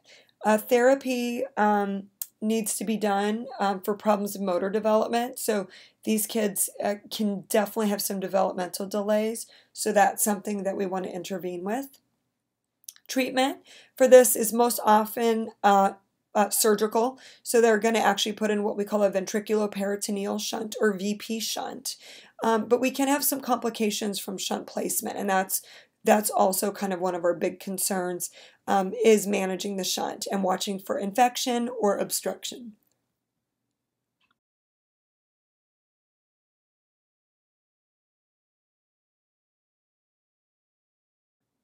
Here you can see what the VP shunt looks like. They essentially are going to put a little hole in the skull there, um, put the shunt into the ventricle, and then the, the attached uh, catheter here is going to be tunneled under the skin and it's going to go all the way into the abdomen and they curl a little bit of extra um, of the tubing in there to allow for growth.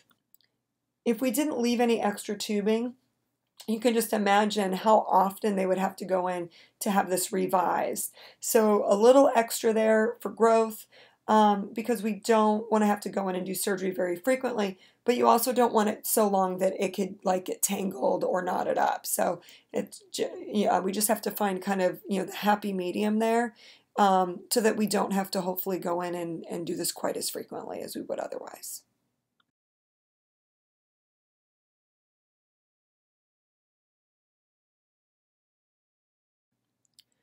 The greatest period of risk for shunt infection is within the first one to two months after placement. Um, we can see all different types of infections, including septicemia, bacterial endocarditis, wound infection. Uh, shunt nephritis is a rare infection of the kidneys um, from an infected shunt, and it essentially will or will eventually lead to blood infection meningitis, and ventriculitis. So in these cases, we're going to give massive doses of IV antibiotics. Um, and or remove the shunt. So we may take out the shunt. Um, that doesn't mean that will always happen, but they'll remove the shunt, leave just an open drain in temporarily, and then they'll do a new shunt um, once the infection has resolved.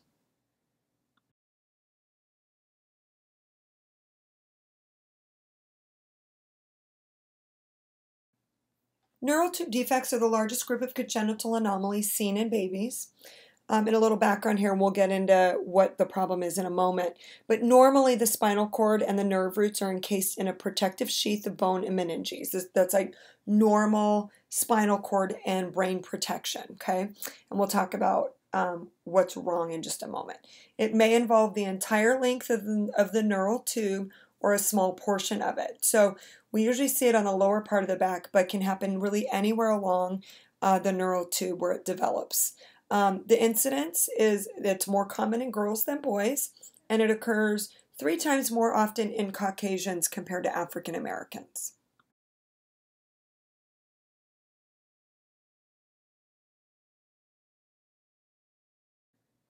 The exact cause is unknown, but what for whatever reason there's a failure of the neural tube to close during the embryo's early development. So the neural tube is one of the first parts of the fetus or the embryo, I should say, to develop. Um, and it's what will turn into the brain and spinal cord and nerves within the body. So this is very, very early in pregnancy, three to five weeks, where we usually don't even know that we're pregnant or maybe just finding out um, that we're pregnant when this defect is occurring. So, usually by the time you find out you're pregnant, you're already past this. So, it's a genetic mutation in the folate pathways. So, and we'll talk about folate in just a minute. So, maternal factors that will increase risk or contribute um, to a neural tube defects is maternal obesity. So, moms who are obese are more likely to have a baby with a neural tube defect. Moms with diabetes are more likely to have a baby with neural tube defect and those with a low folic acid status, which is the same thing as folate. So we know that if we aren't getting enough folate or folic acid, that will increase the risk.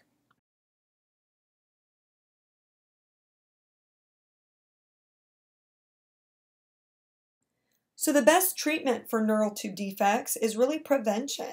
So we teach our pregnant moms to supplement with folic acid. Um, we give them 0.4 milligrams every day. Um, uh, is like the ideal. And so you'll find that in women's multivitamins. Um, in 1998, the FDA also began to fortify cereal and grains with folic acid. So that would just helps make it a little bit easier for women to get enough folic acid. We're going to begin um, the folic acid supplementation preconception because, as you know, we usually um, are already past this point when we find out that we're pregnant. So we want to start that treatment or um, that supplement early on so that we don't have a baby develop this before we know we're even pregnant. And that just that simple folic acid supplement will prevent 50 to 70% of all cases of neural tube defects. So it's a huge, huge factor in prevention. We'll be able to diagnose a neural tube de defect a couple of different ways. So we can do um, an ultra, uh, sorry, um, an amniocentesis between 16 and 18 weeks of gestation. And what they're going to look for is the elevated alpha fetal protein. So that'll give us kind of a start point or something to let us know, you know, something's not quite right here. Um, they may be able to identify it on ultrasound. Um, we can also uh, diagnose it from um, chorionic villus sampling or CVS, and that's where we take a little uh, sample of the placenta. And so with these babies, we're going to make sure that we do an elective pre-labor C-section um, so that we can decrease the motor dysfunction. And when you see the defect on the next slide, it's very obvious um, why we wouldn't want mom to, to labor and have a vaginal delivery.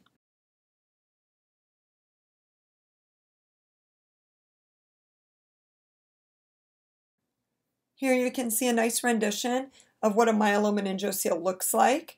Um, and so this is a baby, you know, on his back and on the side, so you can kind of see what it looks like. But you essentially have this sac that's protruding out of the lower back is usually where we see it, although it can happen up higher. So, and then on the right here, you see like the different presentations. So you can see a normal spinal cord and vertebrae. And then you can see the spina bifida occulta, which we'll talk about in just a minute. And that's just where we don't have a visible external defect. The meningocele, which is kind of the milder version, where we don't have neural elements in that pouch. And then the myelomeningocele, where we actually have neural elements in that pouch or protruding out of the back.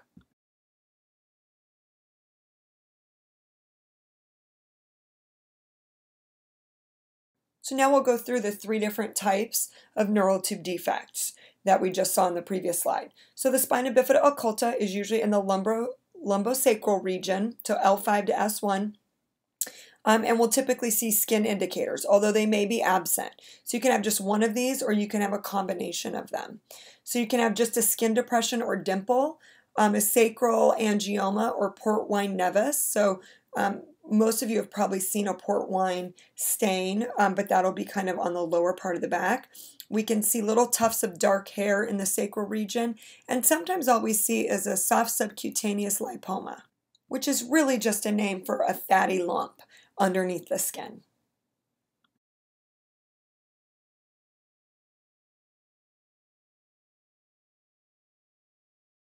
And spina bifida cystica is when we have a visible defect um, with an external sac-like protrusion. And again, there are two types here. The meningocele is where the sac contains just meninges and spinal fluid, but no neural element. So they typically are not going to have any neurologic deficits. And then the other one, or the more severe, is the myelomeningocele. And the sac there will contain meninges, spinal fluid, and nerves. And this is where we're going to have the neurodeficit.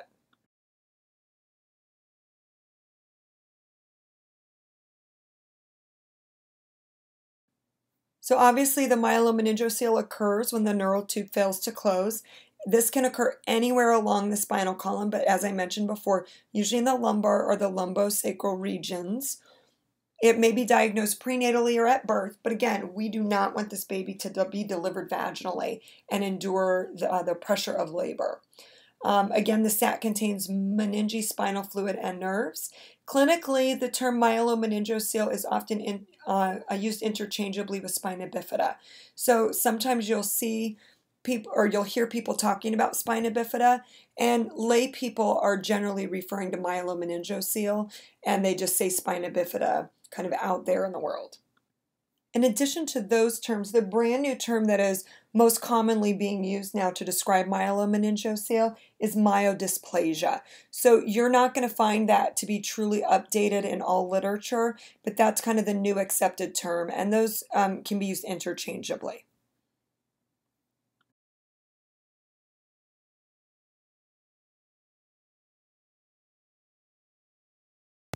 The location and the magnitude of this defect will determine the nature and the extent of impairment. So, generally speaking, the higher it is on the back or along the vertebrae, um, the more severe symptoms they're going to have, the more the more defects or problems. So, um, if the defect is below the second lumbar vertebrae, we're going to typically see some flaccid paralysis of lower extremities and some sensory deficit. But the higher up it is, the more symptoms that we're going to have. It's not necessarily going to be equal on both sides of the defect. And then remember that the sac can be a fine membrane. Um, it's very prone to leakage of CSF and is very easily ruptured. I kind of think of it as like an overfilled water balloon where you fill the balloon so, so full you can tell like if we bump it even the slightest bit, it's just going to blow up. So, and that's exactly what it looks like actually too. And I'll show you a picture here in just a moment. It may be covered um, with dura meninges or skin though, so it's not always that extremely fine membrane that's super fragile. Sometimes we have a little bit of a thicker covering over it.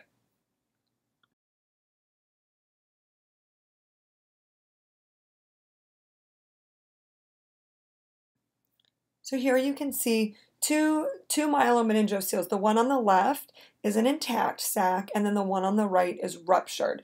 So I want you to kind of think about, like anatomically, what you're seeing here, and um, think about what that's going to mean for like our nursing care and treatment. And we'll talk about that in just a minute. And you can actually even see um, a little bit of dark skin surrounding or beneath the myelomeningocele, and that's that, uh, those skin abnormalities that I mentioned.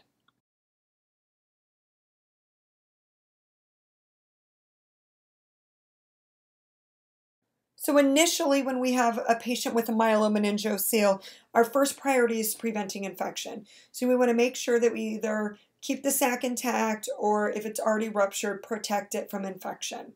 Okay, so we want to do an assessment of their neurologic status and figure out how uh, significant the dysfunction or the defect is. And then surgical closure is going to happen within the first one to three days. So it's something that will happen very, very quickly.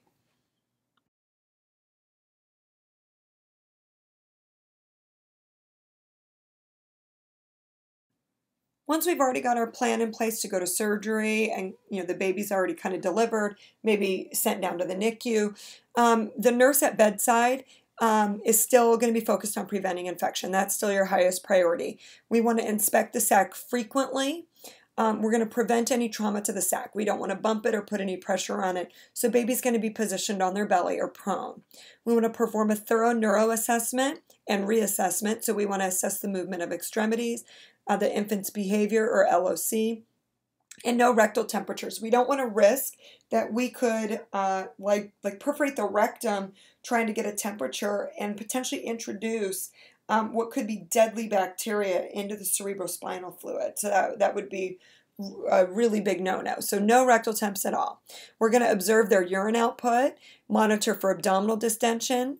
Um, we're going to measure their head circumference and assess the fontanelles for bulging. So remember we um, I mentioned one of the things that can cause hydrocephalus and it's strongly associated with myelomeningocele. So we know we have a myelomeningocele that we have a greater risk um, of developing hydrocephalus. So that's all um, so that we can we can assess for that.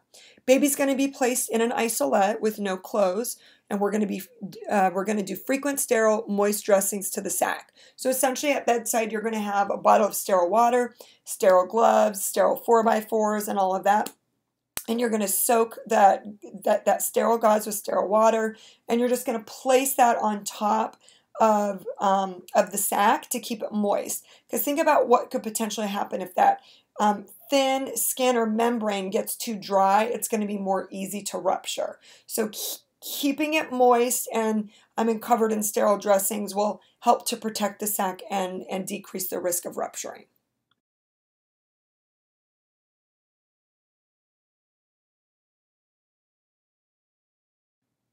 Cerebral palsy, or CP, is a disorder of the development of movement and posture. It causes activity limitations that are attributed to non progressive disturbances that occurred in the developing fetal or infant brain. So essentially, it's going to be a problem with movement and standing. It is non progressive and it is related to problems that, that occurred while the brain was developing, essentially. It is characterized by abnormal muscle tone and coordination. It's the most common permanent physical disability that we see in childhood. Um, it occurs in about 1 to 2 in 1,000 live births. Um, and uh, 15 to 60% of these children will also be diagnosed with epilepsy.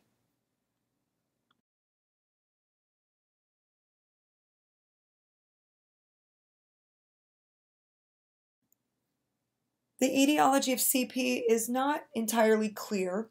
Um, it can happen prenatally or postnatally. Prenatally, um, it can be uh, from some unknown brain abnormality, can be related to genetic factors, and it can be related uh, uh, to prenatal or perinatal injury. An example of that would be birth asphyxia. And we know that uh, that prematurity is a factor. About 12% of infants born prior to 36 weeks will have CP. We also know that uh, that prolonged labor can be a contribution. It can lead uh, to chorioamnionitis, um, which is an infection of the amniotic membrane. And um, this is one of the concerns we have um, for not letting a woman uh, or a woman who is in labor go um, an extended period of time uh, with ruptured membranes. So that um, that is part of the concern there. It can cause them or lead to CP. And postnatally, um, we see uh, just a couple of examples are shaken baby syndrome and bacterial meningitis.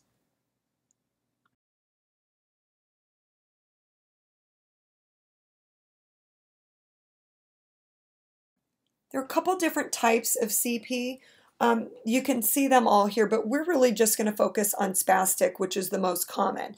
And with spastic CP, what we have um, is hypertonicity of muscle, uh, poor control of posture, balance, and coordinated motion, poor fine and gross motor skills. So we're really going to see this um, become very obvious with um, with growth and development. So they're not going to be hitting their developmental milestones. It can also involve both arms and or both legs, all extremities. It can affect one extremity, or we can even have it affecting three extremities. So it um, so it can present um, in varying degrees from child to child.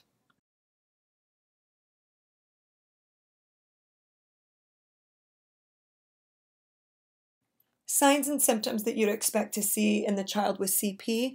Um, some of the physical signs would be poor head control after three months of age. So, by three months of age, they should be getting a little better at controlling their head and neck. Um, they'll also present with stiff or rigid limbs, which is you know, definitely abnormal for an infant. They'll arch their back and push away. They may present with floppy tone. They're unable to sit without support at eight months of age and they'll have clenched fists still after uh, like after three months of age. So um, you can see very clearly here that their developmental milestones are not being reached. Uh, behaviorally um, they're they're excessively irritable. They won't smile on time and they present often with feeding difficulties. So we'll see persistent tongue thrusting. Remember, that's the, uh, uh, that indicator that a child's not ready for oral feeding.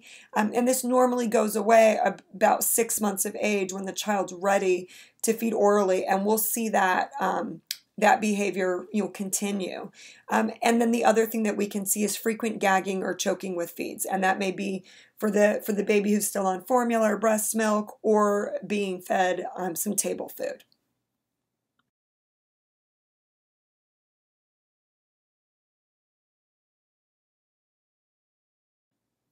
This photo here kind of shows the typical presentation um, for CP. So you can see that this child has um, her hands are in kind of a funny position. She's got her head cocked to the side, but it's not that you know she's watching the nurse or making eye contact. She's kind of in this position, uh, looking away. You can see her eyes aren't aren't really open, extremely wide.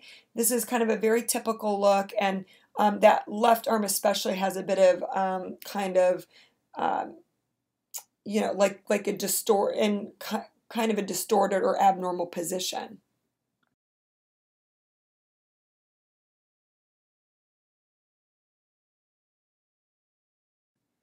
In order to diagnose a child with CP, um, we are going to do good assessment early in infancy on any infant that we know is at risk for CP. Um, and any child who's um, already not off to a good start with milestones, we definitely want to follow up with them and do a really thorough developmental assessment. Um, we'll do a neurologic exam and history. Some neuroimaging may help us you know, identify the cause of the developmental delays. We'll, we can do metabolic and genetic testing. Um, and then we look at IQ. So there's a very wide variation, but 30 to uh, 50% of CP uh, patients are going to be cognitively impaired um, but in varying degrees. And of course, you know, this is going to be really difficult to assess in infants and small children. As they get older, uh, we're better able to evaluate that.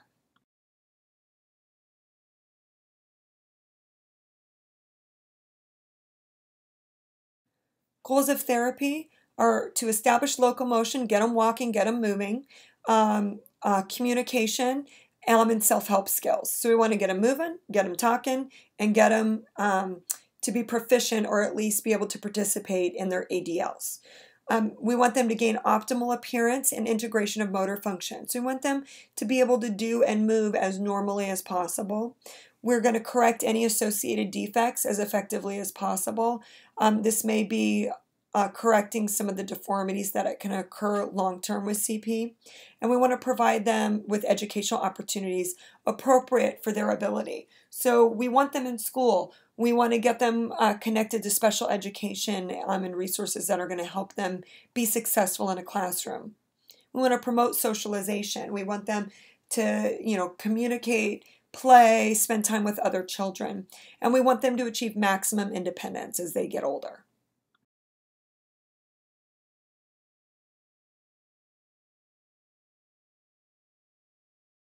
Therapeutic management for the child with CP includes a lot of different options. So um, they may uh, need help with walking. We can include uh, ankle or foot braces to help provide a little bit of support, um, and orthopedic surgeries to correct some of the spastic uh, deformities that occur um, in our CP patients.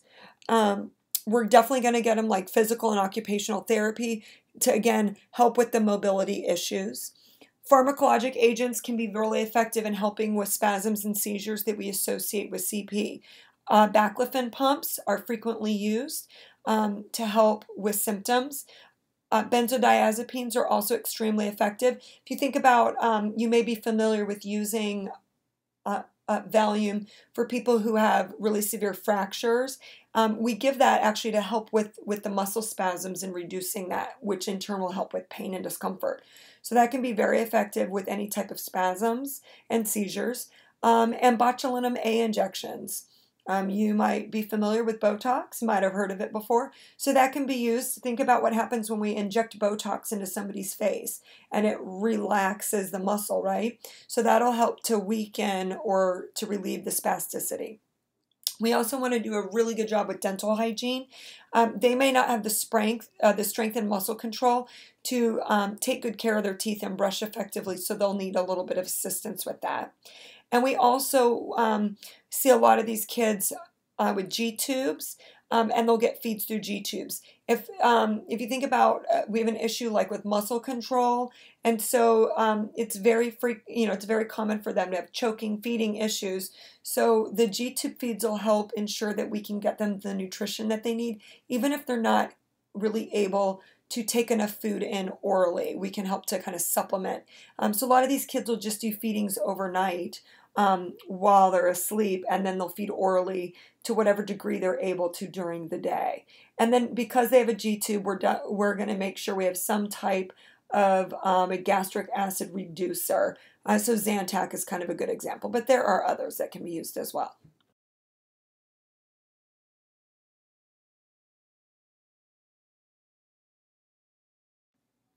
In addition to uh, physical therapy and surgery and all of that, they may need assistance with uh, uh, with mobility. So this little kid here um, um, is using a set of two canes to help with mobility.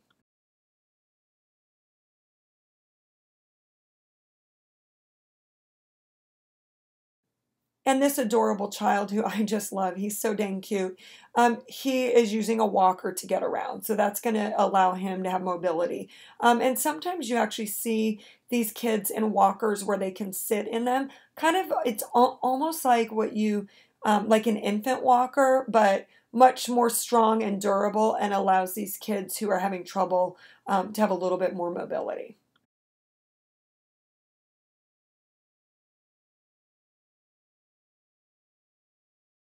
Your nursing care management for this child um, includes assisting the family in devising and modifying equipment and activities. So this may be, um, you know, anything from um, how can we make them more comfortable at the dinner table? How can we make them more comfortable in the classroom?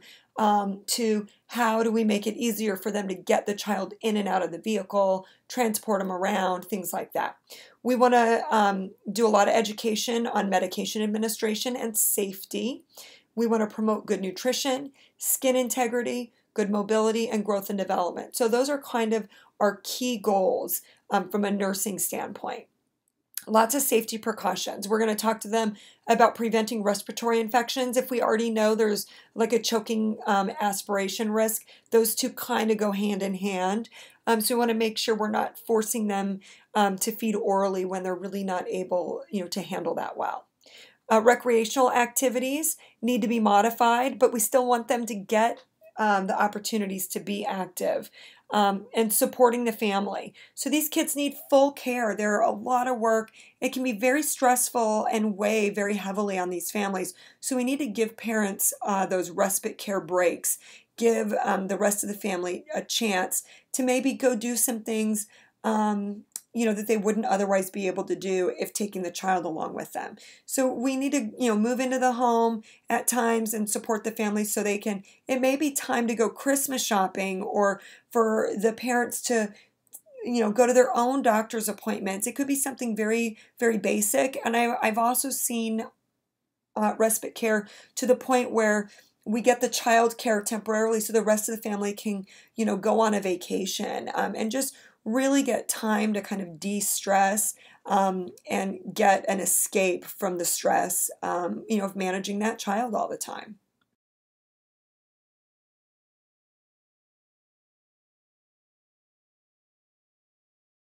So, with your near drowning, which we also call a submersion injury, death occurs from asphyxia while they're submerged underwater. Um, it can occur with even very small quantities of water, even you know just a couple of inches of water in a bathtub or a small pail of water can be enough um, for a child to drown in. And we'll truly uh, label them with a diagnosis of near drowning if they've survived at least uh, uh, for 24 hours after the submersion. Um, and if the child survives, um, we call it a submersion injury.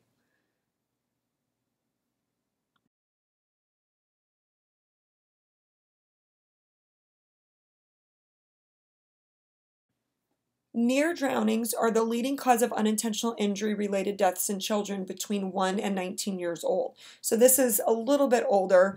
Um, you know these these statistics are always a few years behind they're released in 2011 we don't have any new statistics since then at this point um, so uh, the risk is greatest from birth to four years and then 15 to 19 years of age and so the teenagers you can associate that with poor decision making diving in places where it's dangerous things like that the most common locations for drowning are the bathtub and pools. So about 78% occur in bathtubs and 32% occur in pools. And here in Arizona, the pool um, uh, the pool percentage is going to be a lot higher because we have so many pools here with our warm weather. Um, and it's it's also associated um, associated with risk taking behavior. So, um, like drugs and alcohol in the teenagers um, are certainly a contributing factor.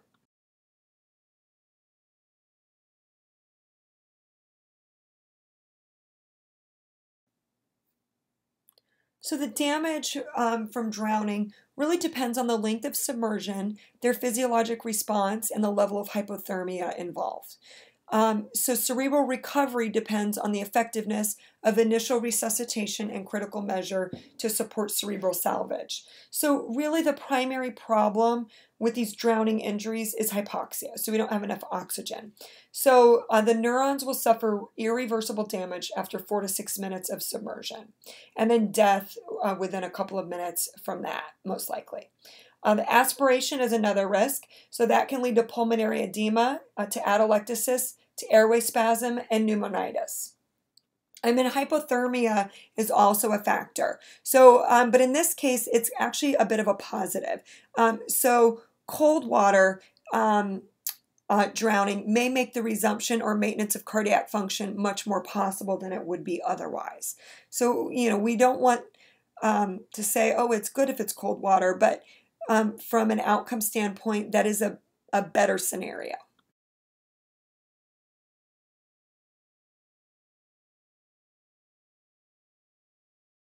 Now, the best predictors for a positive outcome after a near drowning would be with cold, non icy water, a submersion of less than five minutes. The absolute worst is anything greater than 10 minutes.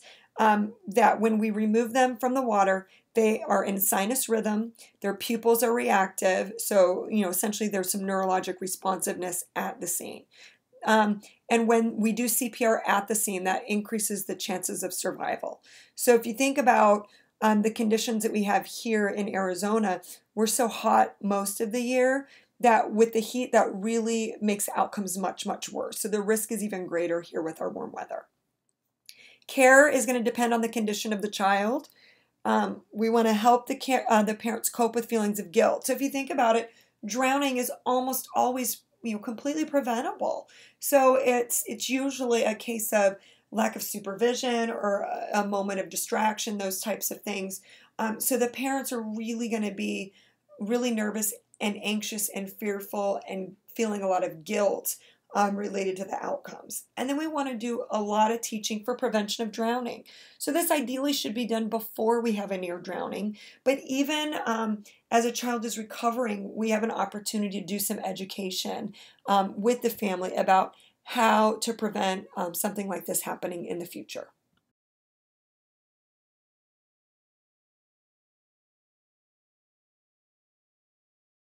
Your nursing care management is going to focus primarily on assessment.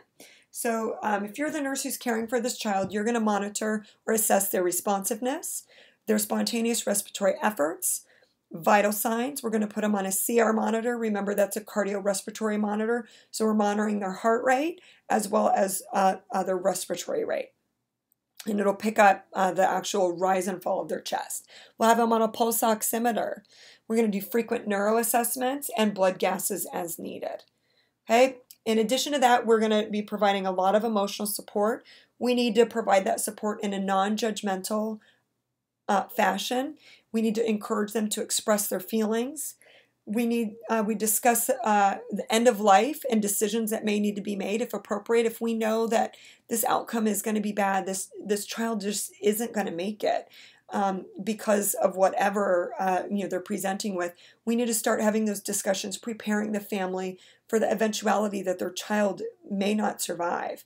Um, and in, in the opposite vein, um, we can plan home care if appropriate. So we're going to be talking about like prevention and safety and pool fences and teaching CPR and all of the things um, that they'll need to know um, prior to discharge.